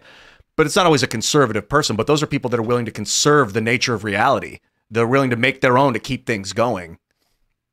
I'm happy to be a part of that movement by building minds, things like that. You know, Yeah, I think it is an interesting um, balance between people who have sort of um, a loyalty and maybe an optimism about what. I mean, that's the whole MAGA movement, right? Make America Great Again, versus the sort of very serious power um, people who enjoy destruction, right? Like, if you don't believe in your country and you're willing to destroy it and see everything around you crumble, then you are actually in some ways more powerful because there you don't feel the need to preserve anything. Preserving things is more difficult, in Oh, my absolutely. opinion. Building things is harder than destroying them. Yeah. yeah, Yeah, talking about life, like this nihilism. Do you guys ever get waves of nihilism? It's been creeping in and out of me over the last five months, two years. Is that what you think the months. like bridge thing is? Just nihilism? People this thing, like- people yeah. that just don't care about if it, if they die tomorrow, they're just out for a nice piece of food. Yeah, I think a lot of that is. I don't I don't I don't think these people are smart enough to understand nihilism or the feelings of nihilism. They just are nihilistic. They I don't just think don't so. have any. eh, Do they have a vision of the future? If they don't, then they're nihilistic. or just I, I. I, I disagree. I think to be nihilist requires some kind of philosophical understanding. These people are just like, oh wow, so fun. Oh man, they don't, they're not thinking anything. They live in the moment in the next five minutes. When you talk to teachers about it and the way that kids engage, they just they don't they're not making long term plans. They're not thinking about what they're going to do in the future. It's just five, entertain me for five minutes. Entertain me The- for five minutes. These are not people who are going, man, nothing matters. So I'm going to go on a bridge and do a sideshow. Yeah, These are no. people who are like, yo, all the boys are going to drive their cars. Let's go. That's that's what they're thinking. It's very short term impulsivity. But but also this is their mission in their life. Like their community is a bunch of people who do sideshows and show up, and that's that's their culture. So that's I would say that's the opposite of nihilism. The the there's many leftists who are nihilistic, and they're actually people who are like, I sat here and I thought about it, I couldn't find a reason to live, so screw it. These these people are just having fun. Mm-hmm. YOLO. Just short term thinking people. Like No, look, there's look, a lot look. of those people. Why do you play guitar? Because I like it. Why do they do sideshows? Because they, like, I it. guess they That's like it. And also, it sounds good and it heals me when it vibrates. There's a lot of reasons. And, And they're there's things- useful. They're very useful. I mean, there's a number of reasons why this is happening. Are they testing different choke points in different areas? I think that they're driven to do certain things. You know, I don't even think they know why they're doing. them. They're just useful outer circle idiots. yeah, like, are we going to be able to take the bridge next time? Like, Yeah. you think they're testing the waters? Yeah, I think they're doing it in a lot of different places. You see it across the country, in major like transportation areas. I mean, I'm sure that there's someone that's saying like, you know, let's just see what this looks like, and and you drive people out to do Oh, things. you sense then- it's more organized. Um, I think that there are like seeds that are planted. I, I absolutely think that um, in like they're learning lessons constantly. They learn lessons in 2020 about how far they could go and what they could get away with. Um, I mean, I think uh, ultimately making America a weak country um, so that the people can be controlled is the goal. I mean, we see it. I, that, I, that's I, I can't think of any other reason why we don't teach kids how to read or do math in school. I mean, if, if you know they're reliant on the government, that's a good thing for the left. Um, but I do think that a lot of this is strategic and just trying to see how they can navigate in some of the cities, maybe for what this summer looks like. I don't know. you have you have dour predic- predictions about this summer. You don't think it's gonna be good? I think it's probably going to be violent. I mean, I think in like the Chicago area, you know, I mean, during the convention, I think we'll see some violence this summer, unfortunately. I mean, I, you know, I don't want to. I'm a mom. It's hard, you know, as a nation, you see a nation breaking down and watching people fighting and so much conflict. The kids are being pitted against each other in school. How do you talk about you know the state of America with your kids? Like, are your kids more optimistic than most? Are they still looking to just be entertained every five minutes? Like, where does this fit in? Yeah, I, I think most people who have children um, are pretty optimistic about the future. I think you kind of have to be. You're a stakeholder in the future. You engage in an interesting way. Um, and so, how do you talk about the future with your kids? I mean, um, in a positive manner. You know, I mean, you're not going to fill your, you know, but my kids know what I do and they, they're watching what's happening. And the kids, you know, they see the news, they're on social media. I have teenagers. Um, I think they're concerned, they're worried um, about, you know, the, I'm sorry. Uh, I think they're. I, I think that they are concerned to a certain degree. Certainly, my you know older teenagers are watching what's happening across the country. Yeah. Yeah, I mean, and my kids will tell me I have a son in private school. He's, I mean, excuse me, in public school. I have two. My youngest two, I moved out of public school, but still one. And he'll tell me all the time, like, "Mom, there are kids in my class that can't even read. How old is he? Sixteen, sophomore.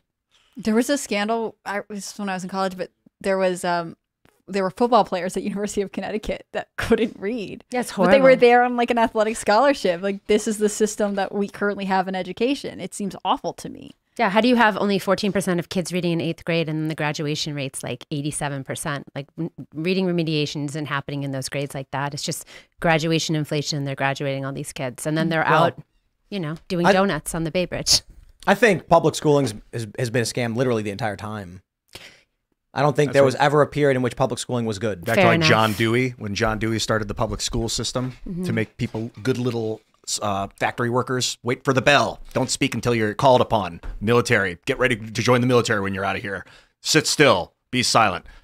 Follow orders. Like that's they turned they that was like in the 1920s or something that they Yeah? I'm not going to sit here and like defend the origins of public education or what it wanted to achieve. I just think right now it's a, it's a really key piece. And like you talk about the culture war, Tim, and about you know how do you win a culture war? You engage in the culture, and I think for a long time conservatives haven't engaged in some of these areas. And so um, with the schools, we have to engage because we'll lose our country eventually if we don't.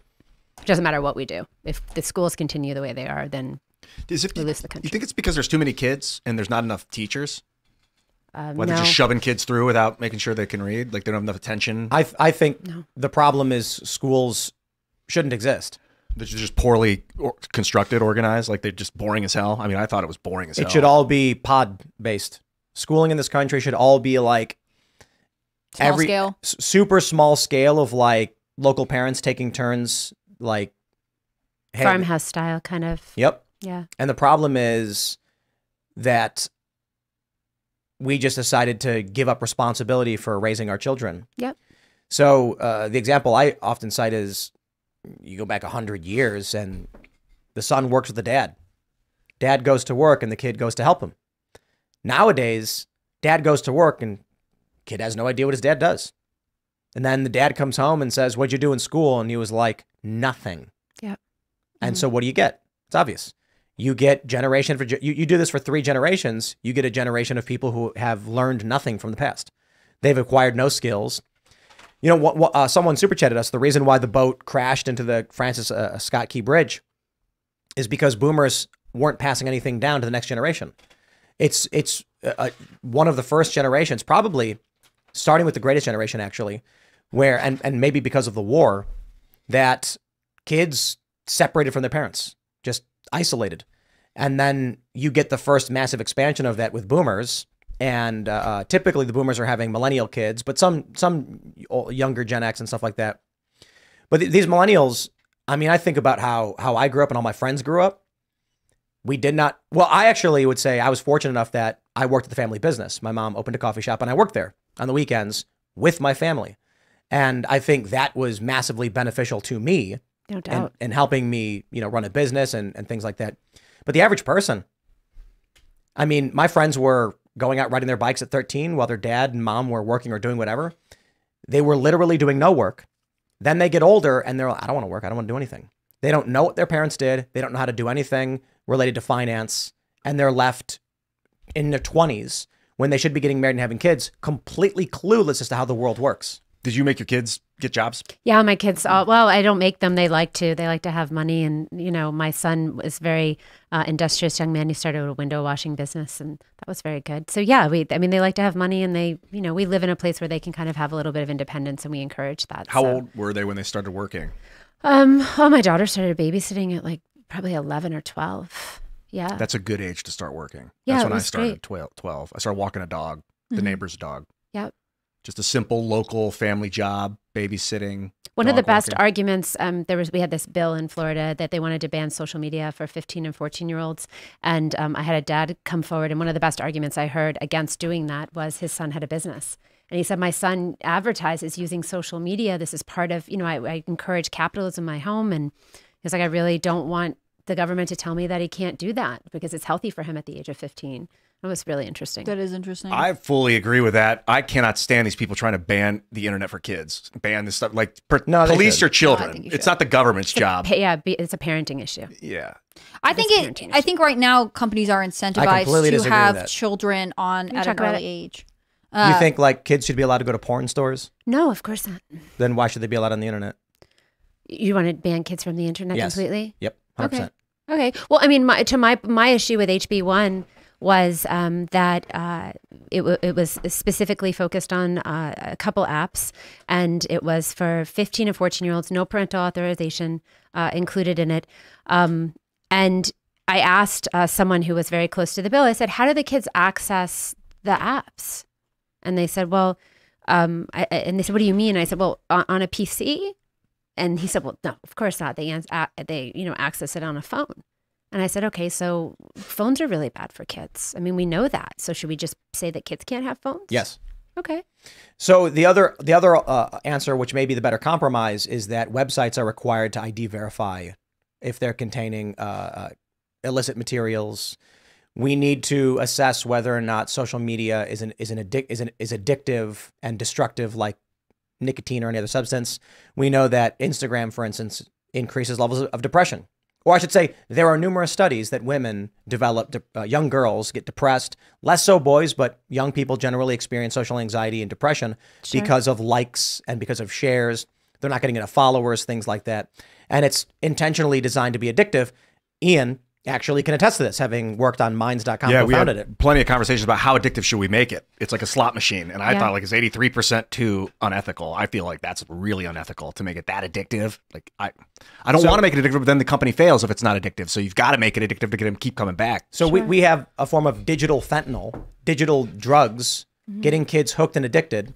There's no ID requirements. So children can literally go onto any app and download. I'm not just talking about porn. They can download snuff and they can watch people get screwdrivers jammed into their skulls with hammers. Wow. The moral argument I make And- is that I think. Oh, yeah, But but so here's the issue with with keeping kids off the internet in general. Mm-hmm. Perhaps it's like you got to be 13.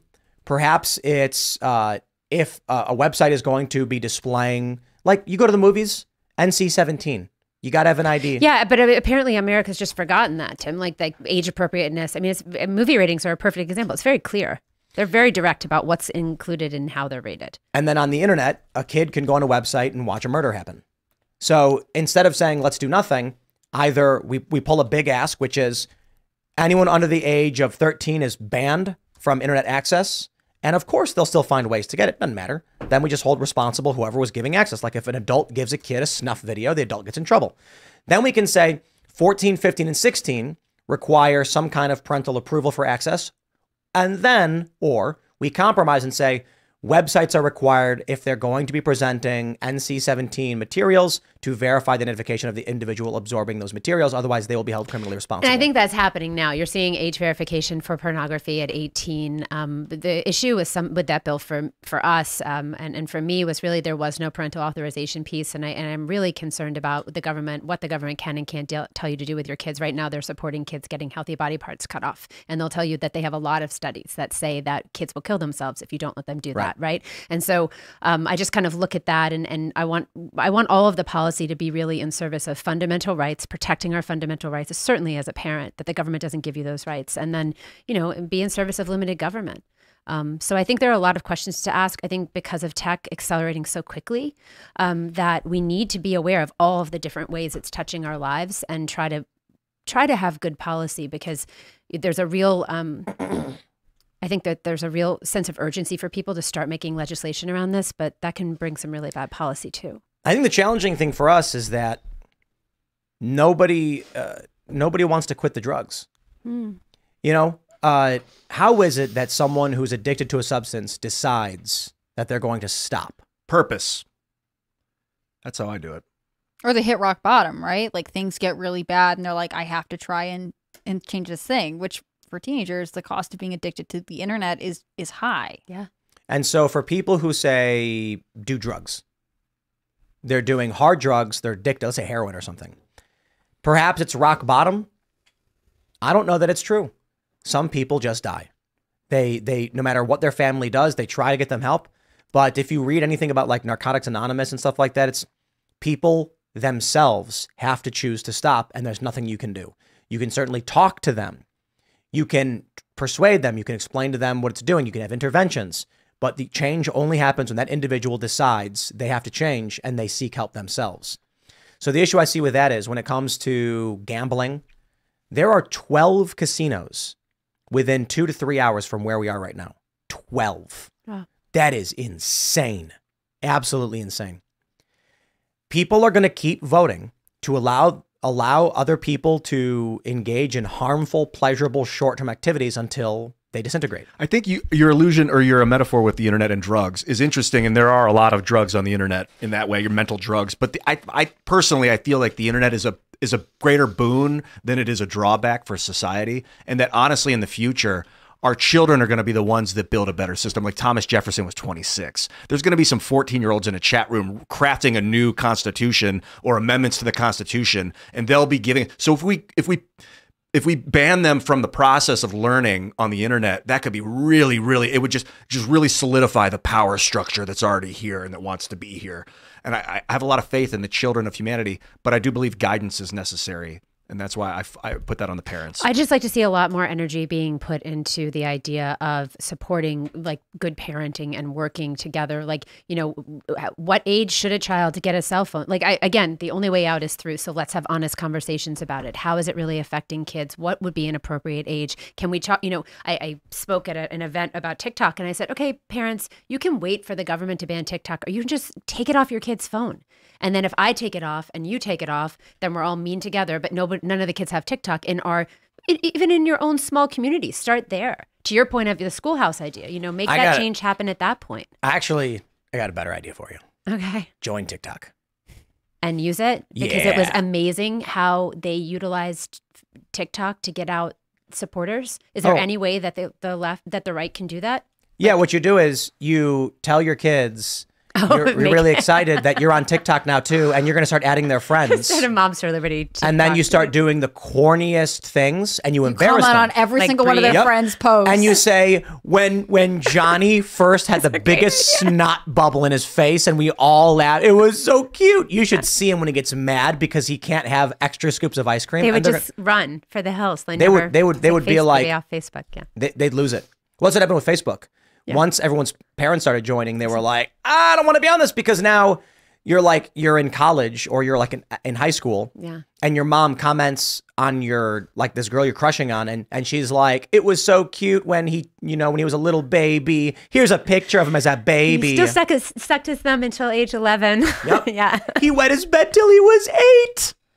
Yeah. They're gonna go, like- Oh my god. It's a good strategy. I'm, I, I think I'm, I'm going to go back and, and speak to the moms about that. TikTok's gonna be like, Stop, get the moms off. That's right. Yeah. Did you guys do moms? Moms did you guys TikTok. were you on there? go. Moms for Liberty was it on TikTok? No, we're not on TikTok. Just be, I mean, uh, because I, I I'm not a big TikTok fan. How do you feel about it ethically? Just the entire process of TikTok. what do you mean? Uh, Uh, like is- China well, it's a Chinese stuff? company, ByteDance, which is kind of beholden to the CCP, Yeah. running a social network in our in our country w- Sure. with proprietary code. It's concerning. I think it's valid, but I, I mean, you know, Thomas Massie got up when he was speaking about it, and he was like, "Like, "Everybody's phones from China. Why aren't we talking about anything else? We're talking about TikTok specifically." I, you know, I think that there, um, I think there's a broader conversation to happen about China in general and and how we move forward. But I guess it's a good conversation starter. Everything has to be sexy now in order for us to talk about it. It has to be like controversial and But TikTok. with the TikTok thing, they were like, "Let's ban it." I'm like, "No, no, no. I don't think that's the right move because then that's going to give them authority to ban other stuff." I'm like, "Just make them free their software code if they want to operate in the states, so that we all have access to it." And they'll say no. They'll shut down in the United States if you do that. You'll get your ban. But or they'll show you their code and you'll be like, "Wow, they were spying and they were moving data directly to the C through all these things." And look how they tweaked your algorithm when you said that word, stuff like that, which would be benef- super beneficial to humanity in the United States. I hope they go that route. I hope they go that route. It's just about, I think, bringing awareness to Congress and letting them understand the idea of free software and, and open source code and verifying algorithms and things. Is Brazil banning X? Is that actually happening? This is nuts. We should talk about this. Did you get any follow up? If you guys got any follow up, so apparently the the the was it the attorney general and the president of Brazil are like take down all these accounts on X, Elon, or and he's like no, and they're like these are people are considered like felons in Brazil. I don't want to. I don't want to.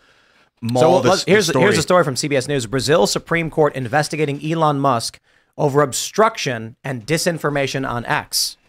They say a crusading Brazilian Supreme Court justice included Elon Musk as a target in an ongoing investigation over the dissemination of fake news and opened a separate investigation late Sunday into the executive for alleged obstruction. In his decision, Justice Alexandre de Moraes noted that Musk on Saturday began waging a public disinformation campaign regarding the top court's actions, and that Musk continued the following day, most notably with comments that his social media company X would cease to comply with the court's orders to block certain accounts. Quote, the flagrant conduct of obstruction of Brazilian justice, incitement of crime, the public threat of disobedience of court orders, and future lack of cooperation from the platform are facts that disrespect the sovereignty of Brazil, he wrote.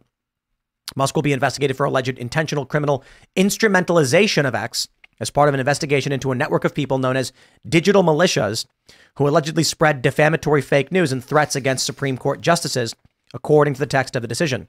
The new investigation will look into whether Musk engaged in obstruction, criminal organization, and incitement.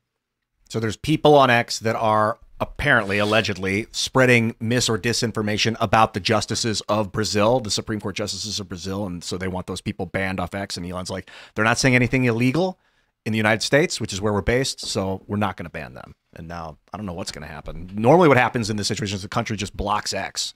Brazil will just block it in the country. I mean, that's normally what China does. So I don't know. It's a horrible look for Brazil if they were to do something like that. Yeah, Elon announced he'd remove all restrictions from, from Brazil now because he was like, screw him. Free Yeah. speech. Interesting. Yep. He's fighting in Australia too. My friend Chris Elston, um, Yep. that tweet, I think there was like a eight hundred thousand dollar fine or something that they wanted to, and Elon's they're fighting it in court. That was I'm crazy. thankful.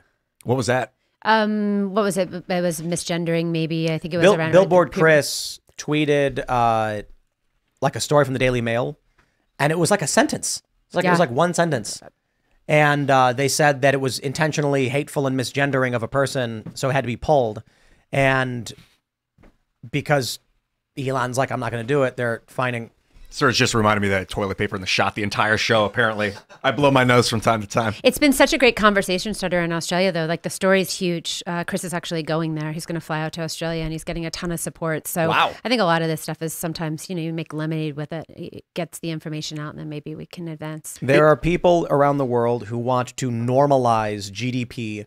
They want to basically homogenize the planet. And it's horrible. Imagine every downtown, a McDonald's, a Starbucks. Ugh, every tourist location you go to is just Hard Rock Cafe, Bubba Gump Shrimp, and Dolce or something. Could you J. imagine Crew. that? Maybe And then- that's how they stop people from flying places to save carbon or whatever, because everywhere's the same. So why go anywhere? Well, the way they do that is by having planes fall apart. Mm, oh, gosh, you see that, Boeing thing? Oh my working on gosh. twofold right now. What happened? The Southwest one with the, the I know it's just the engine cover. I, I don't. I, people are like, it was just the engine cover. It's not a big deal. It's a big deal. Like you're watching Just the thing engine just fall And, coming and, off. and oh, people are like, this stuff happens all the time. It's just that no one ever talks about it on the internet. BS, dude, we've had the internet for 20 years. There was just this expose. you would know about this stuff. Yeah, you see- people. We've had the ubiquity of smartphones and, and phone cameras since 2000, what, five or six? People have had flip phones where they could take pictures. if this stuff was happening, You'd dude, if you on a plane and the engine cover blew off, there'd be 20 pictures of it. That's what happened. And they're like, nah, it happens all the time. Dude, I worked, I worked at O'Hare. I worked for American Eagle Airlines. Not once in the two years I worked there did anything happen in any of the periphery of, of where I was working. The the terminals next to me on either side and the flights I worked on, never did we get any word or witness anything related to door panels blowing off or engine covers breaking off or wheels breaking. There, there, there were sometimes maybe like a, a landing gear error of some sort. We saw those. I will shout out in Midway Airport, a Southwest plane hit the runway, and Midway's crazy. Midway Airport is in a residential neighborhood. It makes no sense to me. It's surrounded by houses, and it's a mile and a half. It's a, uh, uh, it's one square mile. Got a mile and a half of runway. So when you take off from Midway, the, they lock the brakes, jam the engines to full blast, and then release the brakes, and you go boom like a rocket to take off. So the plane landed, skidded on ice, and then cr- and ripped through the wall and crashed onto uh, was it Central Avenue, I believe. And so we like we were all right there because that's where we lived when it happened. And we we like looked down the street, you could see this plane in the middle of the road. Crazy. But that is a plane crash due to ice. It wasn't like the plane broke or anything. So then I end up getting a job at O'Hare. We never saw anything like this. There were instances where you would see the metallic tape over hardware or whatever. That was normal, but it was never really indicative of anything. Some people would freak out. Why is there duct tape on my plane? And we'd be like, that's like, it, it doesn't mean anything. Now we're getting all these crazy stories where doors blow off, landing gears are failing. We just had the engine cover blow off. Yeah, I think there's a problem with maintaining these these, People these planes. are they're concerned from what I've heard and read and listened uh, that people are concerned that DEI you know, diversity, equity, inclusion is getting people that are unqualified to come in here and build these things. And did you see that whistleblower that, like, I don't know, a month ago when it, was a Boeing, he was about to You get shot. yeah, he got killed. Yeah. and they called it a suicide. He was about to testify for Boeing, and he had all this. the middle of He'd been there for testifying. thirty years, and he's like, it's not safe working conditions. Yeah, he was about. Yeah, he was in the middle of testifying, and he was about to sue Boeing too. I heard, uh, or he was in the process of, of litigating against. He was them. doing his depositions and And there- he had maintained his whistleblower statements for years, and then in the middle of doing the depositions, he suddenly and Boeing was no longer with us. Boeing's military industrial complex all the way. They're not passenger jets. That's a small part of their business. They're mainly weapons manufacturing and, and for the as far as I know, I, I haven't done the numbers to know exactly, but as far as I can tell, that's a big part of their their business. And you mess around with that, you're messing around with the, the most powerful thing on earth. But there's like undercover video of people being like being asked, "Would you fly on one of these?" Workers that are there at the factory working, they're like, "Hell no, I wouldn't fly on one of these. It's not safe." They're saying the stuff like that, like, "Ah, nah, I ain't getting on one of those." And I was like, "Come on, how bad can it be?" I've got this like bias of like, it's only going to get better. Things don't get worse; they just get better. Look at the last twenty years. Look at the technology. But like, if you don't upkeep things, they don't get better. They fall apart. And I think that's part of what we're seeing at Boeing, unfortunately. It's interesting. Yeah, couple that with no skilled workers, right? That can go. I mean, again, we're talking about only a third of kids reading on grade level. I, you, you invite me on the show, Tim, I'm going to talk about education because it's a passion to me. I can't believe we're like condemning kids to a life of struggle and crime in third grade. It's horrible. Uh, it's criminal, actually, and it's fraud because it's like 840 billion dollars a year that we spend doing it. Um, but yeah, who? I mean, who's going to go and work on the planes? Who's going to build the bridges? Who's going to build beautiful things? So, wh- what would you do to fix our education system? Would you like Start- teach kids it, to or what would read. you do? Yeah, I mean Um, that's the goal always. But h- who's doing that? Small pod think- schools or yeah i think uh, when possible the pod schools homeschooling if you can do it and it's and, and it- that you can make that a priority in your lives and and for young people if you're watching me and you're thinking to yourself like i don't know what to do like figure out how you're going to have a family and one of you is going to be able to be with the kids and and to to teach them right don't get yourself into a situation where you can't do that but in the public school system it needs to be, um, you know, the the federal Department of Education needs to be dismantled, um, and we need to put the power back down into the states where it should be. Um, and the priority should be teaching kids to read. We should incentivize um, making sure that kids are learning to read, if nothing else. So, um, mom right now just had a little baby. Should she just read to the kid now? It's a little infant. Maybe read doesn't even all the respond. time. Read all the time. Yeah, read to the baby before you have the baby. Okay. because the baby listens to your voice and you know it's incredibly important to read to your kids because they learn a lot of words and um, that really will help them in, in their vocabulary later in life and play memory. and play memory Great game. Helps helps with memory and visualization, Oh, I love that. as well as uh, it's not just about memory; it's about visualization. have you ever heard of a game called rat-a-tat cat oh it's a really fun game What is that? Uh, it's a card game where uh, you get four cards. You get to look at the outer two, and then you can't look at them again. Uh, and then you have to swap. You can swap. It's it, it's a fun game, but memory. It's kind of like a memory game for. You can I, we play it with the kids, but Mark and I, my husband and I, will like make a drink on a Friday night and play.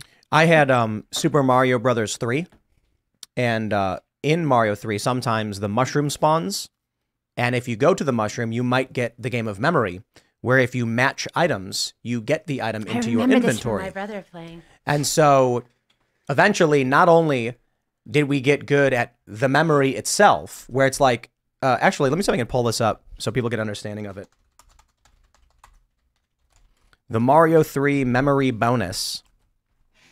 So this is like this is a video game I would play as a kid, and this is really great. You you get I mean most people probably know Mario 3, so if you're old enough you'll know what this is. These little N cards and uh, with a spade on it. And when you you flip over two of them, if you match them, you get 10 coins. So and I think you only get if you fail twice. the memory game's over. Then Yeah, you and then you lose the bonus. Yeah, yeah, yeah. And so you know, it's it's not I think I don't think they sh- they, they don't show you where everything is first though.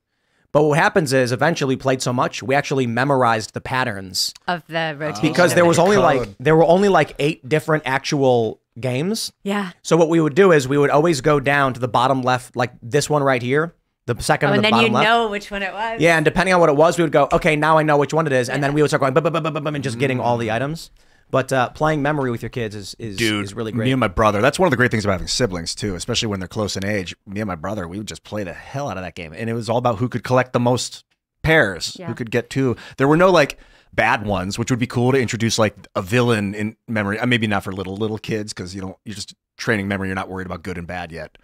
But in, in like Slay the Spire, another video game, they have a similar thing. But there's things you don't want to get too that you've got to kind of be like, eh, I That's know. in Rat-a-tat Cat. It's the same. You have rats and cats, and you want the low cards. It's fun. It's a good Yeah. game. I'm gonna send you Rat-a-tat. Great All right. freaking game. That and building blocks, man. Just I don't know what about having building cardboard building blocks and being able to build little palaces around yourself was Only super for boys though. Girls, just give them dolls. Yeah, oh, girls can only play with dolls and dishes, fake dishes they can learn to wash. What's your take on A that? On, on like the gendered raising of children? Did you notice with the girls it was different? Did you force anything, or did you just? Yeah, um, I, I, I think no child's born in the wrong body, and um, uh, certainly, I mean, my daughter had, you know, dolls. Did the boys play with her toys? Yeah, of course. You know, I mean, she got a kitchen. It was all pink and purple. The boys played in the kitchen. It was pink and purple. I didn't think that I needed to like chop off their penis and stop their natural development. Yeah, if I had You sisters know? and they had Barbies, I would have meshed them in with my Teenage Mutant Ninja Turtles for sure. Yeah. Uh, oh, yeah. And, and and to be honest, to be fair, like there, like some of the Barbies in my house have met a horrible demise. There have been experiments that have happened. It, melting. How flammable Barbies are. Yeah. Anybody For smash a head? science. Like, I mean, I feel like that's just a, a stage, you know? Yeah. So, funny. I mean, I think boys in general, like in my experience, one girl, three boys. Boys are just more destructive in general. They like to, you know, mess stuff up, get dirty, you know, break stuff, take stuff apart. That's just been my Yeah. general experience. But I, I mean, if my daughter wanted to do that, I would have let her do it too. So, you know, I, I I do like breaking things apart to see what they're made of. yeah, they love that. That's the best thing. Everything gets taken apart. Did you have to teach them how to not break it apart, but how to disassemble it? so my they can- husband did. Yeah, he had to actually use some of the tools to take things apart. Yeah. But they've That's done cool stuff. They built skateboards. They've done like the, you know, um, yeah, they've done some interesting stuff. They built, they Cool. did made a guitar together. so- Oh, cool. Very Yeah. cool. Wow, they cut the wood and everything. Yeah, my husband did that with them. It was that's pretty awesome. neat. It's beautiful. And my 14 year old plays. So Oh, that's great. The same guitar they built. Yeah, he plays that one. He just got a new one for Christmas. I wanted to ask you. Well, we're going to go to super chats pretty quick. Uh, Maybe we could talk about Moms for Liberty some more on the after show a little bit because I know you're here in town to go speak. But what is it you're speaking for exactly, so people know on the main show too? So, weaponization of the government uh, symposium at Heritage Foundation, where we'll talk about the fact that the American government is being used against um, the people uh, to control them and their actions. And it's just pretty wild. You have moms and dads across the country that get up at school board meetings and their mics are being shut off, and then they're being called domestic terrorists, and the FBI is contacting, contacting them. And it's shocking. You know, we whistleblowers that say they're supposed to be taking down license plate numbers of all the parents that are in the school board meeting. That's crazy. Well, let's go to super chats. If you haven't already, would you kindly smash that like button, subscribe to this channel, share the show with all your friends, and head over to timcast.com, click join us to become a member and support our work directly because this show is made possible thanks in part to viewers like you. As a member, you'll get access to the uncensored members only show coming up at 10 p.m. on timcast.com. It'll be fun, not so family friendly, but informative. But uh, for now, we'll read your super chats. Alpha Turkey says, one day till all white fit from Tim for 1000 episode. Literally not happening. But if they will it, maybe you will. All white. Tim Jake says, guess no one Tim wanted to jump in, signature so. I'll be first. Well, unfortunately, you were second. what if someone super chats you ten thousand dollars? Would you wear all white? No, Why not? because I don't have an all white outfit. I could maybe give you Fix some of it. I if they if, if if someone I don't think you first of all you can only super chat to 500 bucks. Oh. But uh, if chat revenue hit $10,000 by the end of this show, I will seek out an identical version of this outfit in white. Be amazing. And the and the yeah. Uh, go for great. it, make it happen. That'd be a cool is one in thousand your show. That'd be awesome. There's no way it can be done by tomorrow. I got a white shirt you can wear. It'll That's take it'll it'll, negative. it'll take at least a week to Oh, put that, I like a challenge. There's we could totally do that outfit in white in the next Yeah, you got a big It's team that wants to not make it happen. They'll we'll fan out. Well, not with that attitude, we can't. It wouldn't Next day shipping. It's I, gotta I, I, happen. I guarantee it's impossible. Wow. So, like the clothes that I have, uh, uh, so if okay, so if you want to do just like a different shirt, I guess. Yeah, But I to was, we were totally talking about a different shirt, Tim. That- we weren't saying like that shirt in white. Is that But, what but I'm talking about thread count, style, stitching. Oh. oh, We were talking color. But like to wear a white outfit is meaningless. Like it has I- to be that outfit. Well, this is a specific kind of shirt Got that it. has a thick. Cert, like It's very I'm- nice. if I just wore like a white button up, I could buy that for a dollar. Yeah. I It see now it- why it- it's impossible to do this. I it- didn't understand before. It wouldn't. It would not look like a white version of the outfit. I would just be wearing different clothes. I see. if there was going to be a white beanie that comes from, I believe it's an em- Empire, uh, a white True Classic shirt, a white Volcom button up, and then I suppose if we're going, I'm wearing blue jeans, but you know, You're I, we only care yeah. about what I, we I, I, I, have socks on right now. Super I'm- complicated. I might have white Kyle Walker Vans somewhere What, And, what know. about it's cotton? Your your overshirt, your Yeah. button down, cotton. So a big cotton shirt. Yeah, if you could get it exactly, that's what it's all it's, about. It's, it's, it's just stitching and style and everything. If, if it was just like, hey, wear a white outfit tomorrow, it's like, okay. Okay. You know? Like if Man. someone was like, we want that outfit in I white, think it's if like, you oh, wore man. a white beanie of any kind, it would blow people's minds. It's like it's a signature part of how you present. It would be like if your favorite like superhero suddenly changed their emblem or something. You know, like people would be like, "No, I don't like this rebrand." Either it's a white version of what I wear or it's just me wearing different clothes. So ma- getting the white version of these things, I'll look and see if it's possible. yeah, but- I know you got the green and the blue. Or I have a blue blue one of these. It's they're really old though, and I don't wear it anymore because like, through like a green phase. What do you like so much about that shirt? What is it about? I actually have shirt? like ten of these. Yeah. What do you like? It's just the weight of it. No, it's just the the shirt that I wear on the show. I don't wear it when I'm not on the show. Oh, okay. Yeah. You never wear that shirt out when you're not on the show. Well, yeah, because I get it, I would get it dirty and destroyed. Okay. So typically when I'm outside, I'm wearing like baseball tees. okay. So people who see me when I'm out doing stuff, like I'll be wearing like a black and gray baseball tee or something. I have a, I have a couple blue ones. I have a brown one, and I have brown pants. The first The brown pants are only for certain events when you're getting worried about what's going on outside. You know what I mean? gonna get down and dirty with the chickens. No, I'm talking about when you're scared. Oh, that kind of brown pants. I actually do have. A, uh, I have a pair of brown Volcums that I've had for 12 years, and uh, I was skating in them, and the crotch finally exploded. Wow. Which is what happens when you skate. And I tried getting iron-on patches and sewing them on. It didn't work. You just buy new pants. You can't get these ones anymore. I don't think. Yeah, I tried buying the newer version. It's different materials, and it's just not the same. I hate when same. that happens. Yep. I do too. And they why do they change stuff without like I I know like you're like why did you change it like makeup they'll do that they'll just discontinue a color it's like did anyone ask She's like Nobody you're asked the for this. you're like the fifth person today that's asked me for that I'm like so "Hmm, obviously can you, you, write were to the selling brand? it then. Come on, make any sense yeah I don't know why they do that All right, what do we got here? Kalichnikov says I tried Dr. Ian's recommended sun gazing method on staring at the eclipse, and now I'm nearly blind. no, This message was sent via speech to text. you silly liar! You didn't stare at the sun. Did sun. anybody look at the ground under a tree during the eclipse? Oh, Richie Jackson posted uh, on his picture of it? Instagram story. He And got a could video s- of it. you could yeah. see all the little That's crescents? Cool. It's like fractal. Yeah. That's it's weird how that happens, but each each break between the leaves acts like a pinhole camera, and you can see little eclipses all over the ground. oh wow that's very Yeah, cool super crazy. now I have two things I missed out on totality and that experience Alpha Catch Turkey. him next time, you know. it's like such a day for me Alpha Turkey says, "Did someone check on Seamus if he raptured?" Yeah, he, well, he did. I, he posted a video of it. He was just floating up into the sky naked. Yeah, that wasn't surprising to anybody. No, I've been seeing him do that for years. He's done it once before, apparently. Shani Wilder says, Happy Monday. I hope everyone who could see the eclipse enjoyed it. It was great to have a few moments of reprieve from all of the craziness. I have I have bad news to report. I tried to view the eclipse through the Apple Vision Pro. It did not work. Mm, what happened? It was just a white blotch in the sky. It was like you couldn't even see the sun. You literally would. it- actually, this is really cool. I recommend um, checking into if it's okay for your device to look at the sun with Apple Vision Pro. But I did, and the sun. What there was no ball of light. It was just a splotch of white outlined by the clouds that were surrounding it. But there were weird colors orange, purple, and green, like bursting from the sun. And so I was reading that for women only, because men don't have this, if you look at the clouds and you see like orange and purple lining the clouds, you are a tetrachromat, meaning you have a fourth rod and cone in your eye, and you can see more colors than other people. Only women, I believe only women have this. If men have the same mutation, they're actually colorblind. And so when I That's look so interesting Tetrachromat. tetrachromat, Yeah, we should start saying that as like an insult. Like you're such a tetrachromat. Are you tetra? but that's like it's, having, a, it's a you're a cool thing it's like a Yeah. superpower yeah, I know, but people wouldn't know. They'd be like, "How dare you?"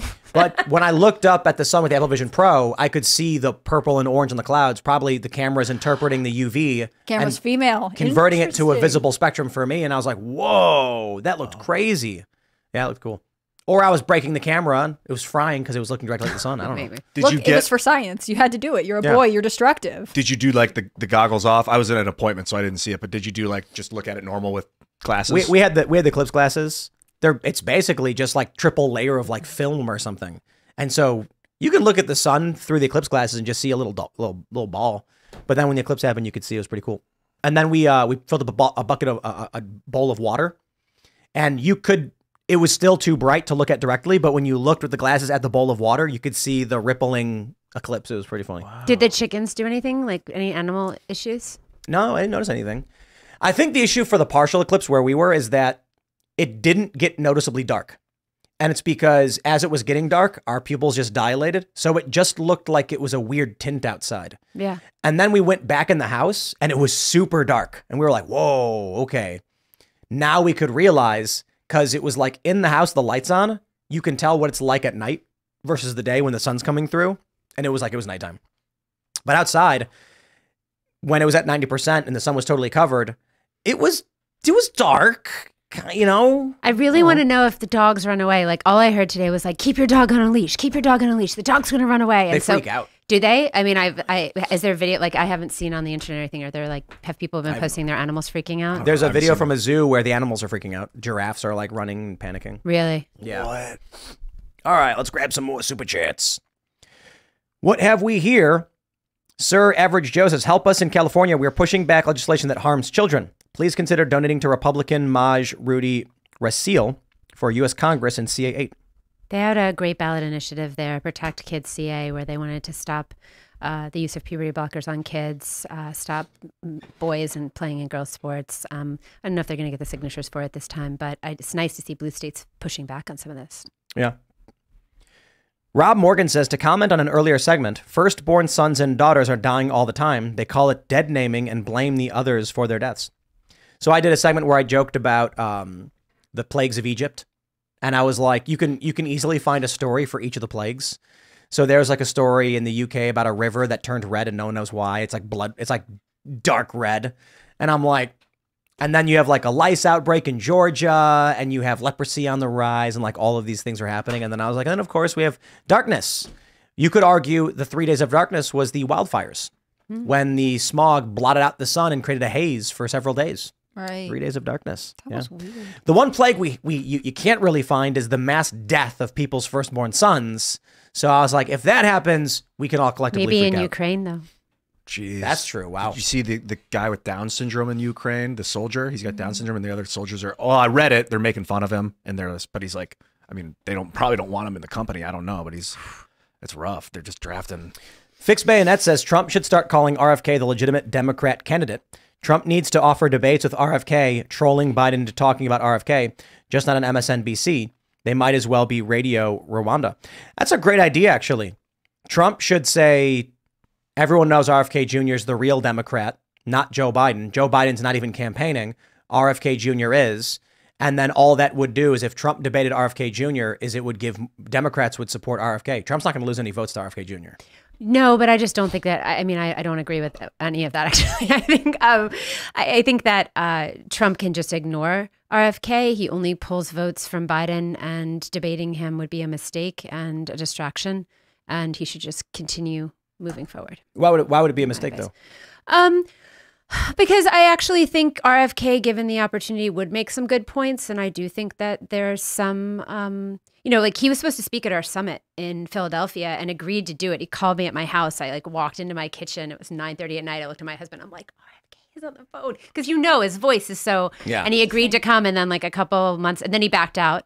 And then he, He went. does that. Yeah, and then he was on like uh, CNN. I think he did a town hall or Newsmax or something, and um, some operative, Biden operative said, you know, well, Moms for Liberty is uh, against gay marriage, and he was like, uh, yeah, well, a staffer, a staffer accepted on my behalf. I was like, well, that's baloney. Wow. And um, and then he said, and, and I canceled when I found out that that was their position, and that's not our position, and we have gay members, and so I just, it was just all a lie. So Wow, he lied. Yeah, a lot. So I, I don't know. I mean, but I do think that there were votes in the room for him. Just to be clear, I do. People wanted to hear from him. Um, I think moms of kids who have vaccine injuries through the children's health defense stuff he's done, um, you know, they they they are hopeful about him, or they were. But our moms after that were pretty disappointed.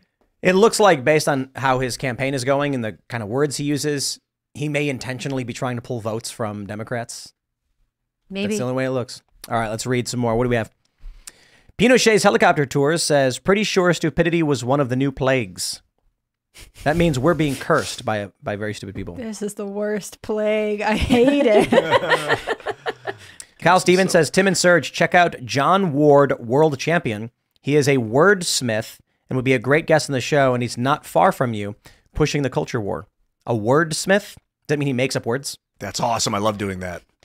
Can we all be wordsmiths? Glibble, Like a, glibble, re, glibble do. a recalibrationist. You know, you just add like uh, suffixes and prefixes to common words, and you can make longer and that was longer how I got words. to regionalism. Crosslandism. yeah, crosslandism, for instance. Anti-crosslandism. When it's I another one. started on the school board, I remember visiting a school and it said had the kids signing in and it said auto magically or something, and I was like, it's not even a word. Why do we have like a ridiculous? It was something ridiculous. I was like, this is a public school. I'm- I'm more about- make, make believe words. I- I'm not into the anti-crosslandism. I'm more about the post-anti-crosslandism. Yeah, yeah. When the, anti-crosslandists had like a reawakening after the fact. Yeah, yeah. Uh, post Crossland. No, well, that would be post would be maybe there's a hyphen, so that would be technically a compound word. Yeah, you're right. Post Crosslandism. Uh, it's so fun to do when your mind is in like flow state and you can be like, it's apoptic. I know apoptosis is a thing, so if something is doing that kind of thing, it must be apoptic in nature. But that's, that's, not the adjective. Make, that's I not making know- up words if the words are already part of don't word know if- structures that exist. I don't know if apoptic is an actual word, but it makes sense that it would be the adjective for something that's going through apoptosis. I need to know how this guy got a career as a wordsmith. Like, does one just declare oneself a wordsmith? There, there's much to know here. We have a we have we have to address this one. You me in the movie says the thing that shocks me the most about eclipses is that the moon is the perfect size and in the perfect distance to block the sun perfectly. Evidence of the divine. I got to stop you right there. Uh, it's not. Yeah, it half is. Okay, well, we'll I'll give you a technicality on this one. The reason why people take the total solar eclipse so seriously is because there are other eclipses where it doesn't fit the sun. Like in October when we had the annular solar eclipse. That is, the moon is further away from the Earth and then it doesn't completely block out the sun.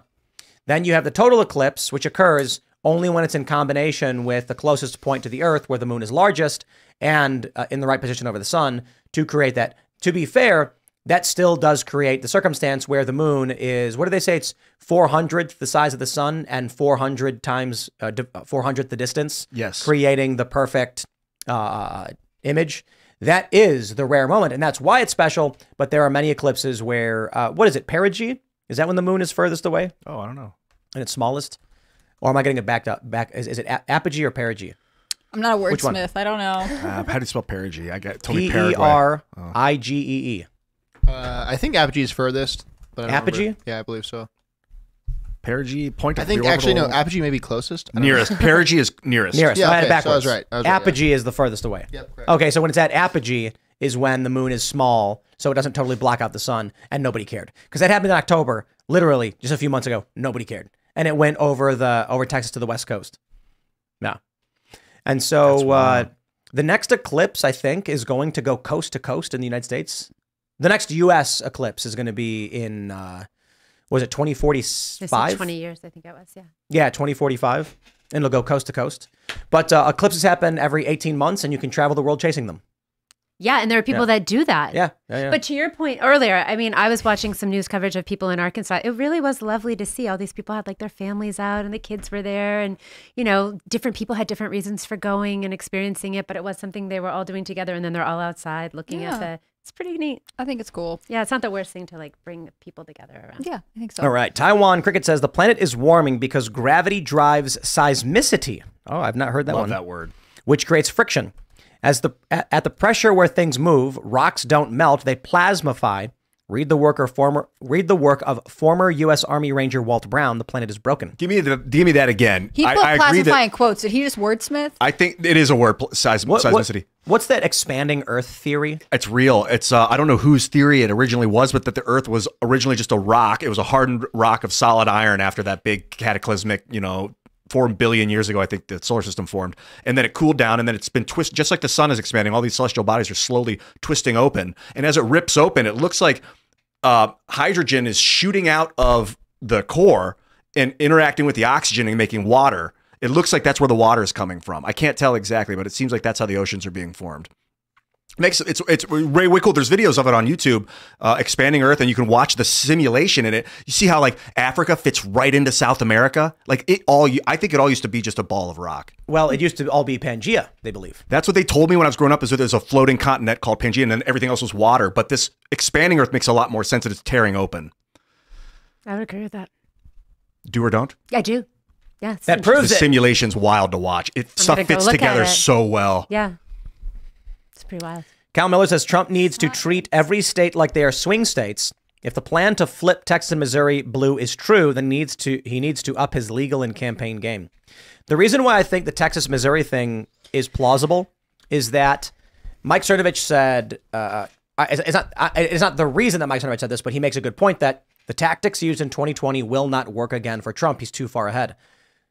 I agree. They can't replay the same strategy from 2020 with their shadow campaign, Time Magazine calls it. They would need a different one, and they would need to catch the right off guard. Texas flips blue. Ever so slightly. It's a winner take all state. They recently had a court uphold winner take all in the state. So you end up getting an extremely close race in Texas. It goes blue. 40 electoral votes go Biden. And then all they need is Arizona. So Trump can have all the swing states where he's up. Man, maybe you should have to be here for four years before you can vote. Maybe you can only vote if you are signed up for the selective service. Yeah, or like, like when you move to a new state, give it a couple of years before you can vote. like, Just what see the what hell? things are like there. What, the- why do they let you? I, hello, I'm going to vote for your new leader. I don't even know anything about. Like, and no, then leave. live and then here leave for, right yeah. away. What the? Remember when uh, uh, uh, what's his face? Andrew Yang said, "I'm going to go down to Georgia and help him win." Mm-hmm. That's just so scummy. Marianne Williamson like moved to Ohio all of a sudden. She's like, "This is where I'm from now. this is my campaign." Morgan Thiel says, "For intellectual consistency, I'm anti-abortion but not pro-life because I believe in capital punishment." Mm. Yeah, the the the editorial guideline we have for SCNR is that on issues of activism towards abortion or no abortion, it's not pro-life or pro-choice because those are political names and brands. It is uh, for or against abortion. Because like otherwise, you're arguing people's political terms they want to use for to describe themselves. Either you oppo- oppose or support abortion. So Yeah, saying I support the woman's right to choose to get an abortion is a really like circuitous way to say I support abortion. right, I support the right of abor- your right of abortion or whatever that. Or you are you are you are in support of abortion. yeah, I don't Well, what like if you it, want to be I, able to compel women to get abortions? You, you don't want them to have a choice about it, right? Margaret like saying you would There be pro-abortion, but not pro-choice. right. That So was a hypothetical. I guess that's why they don't. There's call I don't know a lot of people who have that position, but There's an old joke from the 90s that I can't say on YouTube that I'll save for the after show about that. There's a lot of jokes from the 90s that were mainstream and fun that you can't say on YouTube right now. It was a good time to grow up, though. Yeah. Oh, yeah. Yeah. Yeah. Howard Stern had a good go of it, and now he's on the other side of it. How, how about that? All right. Neglectful Sausage says Ian is three fifths of a brain. Therefore, we can we can post. What is this? Post birth abortion. Well, you made your point. Aw, shucks. He snuck under legally a person clause. Oh, well. Uh-huh. okay. What do we got? What do we got? Joe Spinell says person means any individual, including any officer or employee of the federal government or any group, entity, association, corporation, or foreign power. 50 USC 1801. Any individual. Okay. Uh, is a baby an individual? Is an unborn baby an individual? No, because they're What if it's connected. twins? Well, but No, I would say look, the mother's no, not an individual. th- She like, is. I'm just the joking. point is the Supreme Court needs to answer whether or not person fall, uh, ba- uh, unborn child falls under person in the Constitution. That's it. That's what They have to do. Well, Well, because to that point, you know, you could say, well, the baby can't, you know, survive on its own. Well, if I give birth to the baby and I just leave the baby on the ground, the baby can't survive on its own then. So is the baby less worthy of life at But that if you- point? the because it Vaush, can't Vaush said babies aren't alive till after three months after they're born. what? He did on this show. What does he think they're doing during the time? How does he classify them? Just downloading no, no, uh, information. maybe it wasn't three months. He said sometime after birth. Sometime non-specific. I think Yeah. it's right when. But the they're- argument has been made that because babies can't form memories for the first three months, they're not alive. someone just told me that babies don't feel pain for the first year. I'm Well, like, that's what the not true. hell? That's baloney. Yeah. Is that like an actual like That's not no, true at all. no one says that. I don't know who Well, that hold person on. was. some Ian. weird activist? Do you remember when you were seven and you s- you skidded your knee while riding your bike and fell? Sometimes I remember a few of those, but But not specifically. no. I can't, can't remember remember, the- the chain pain of childbirth. I mean, Oh, like, that means it- honestly. that I- means you couldn't feel pain at all. right. That means that you don't feel pain in childbirth ever. I do proves remember, I think, um, a hernia operation I had when I was like six months old. I remember a vision being, re- it was really cold. I was on like a metal, cold metal table and it, the really green light and dudes above me with masks looking down at me. And the pain, the intense pain in my like lower abdomen. I remember that memory my whole life. No, that was the aliens. Could have been aliens. Yeah. I still don't know. we were talking about aliens on our way here. Oh yeah. My great fear of aliens. Yeah. Oh, all right. Here we got a. Here we go. Best boomer vid says debate Dr. Shiva. Is that asking you to debate Dr. Shiva or me? You. Have you debated? Do you know Dr. Shiva? No. Who is Why would I debate Shiva? Dr. Shiva? The guy who invented email? we're, we're a strictly anti-email company. Best Boomer Vids then says debate Dr. Shiva for president 2024. Me? Is there some sort of joke in chat that I'm not I don't I'm know. missing? Maybe it's just a general call. He's the to guy who says he humanity. invented, invented internet, right? Was that him? I don't know. Looking it up. All right, all right. What do we have? Let's go. What's going on? Uh, let's see. Hake Avaniason says, "Hey guys, wanted to see if you heard of G- Jeo Boden. It's a politifying meme that makes fun of Biden. I have no. Oh, uh, oh, and there's a there's a cryptocurrency behind it or something. Yeah, no, I'm not interested in a Boden, but it is a funny name. Uh, what do we have? What do we have? Someone else asked about the Boden meme. Biden is no longer called called Biden. He's called Boden.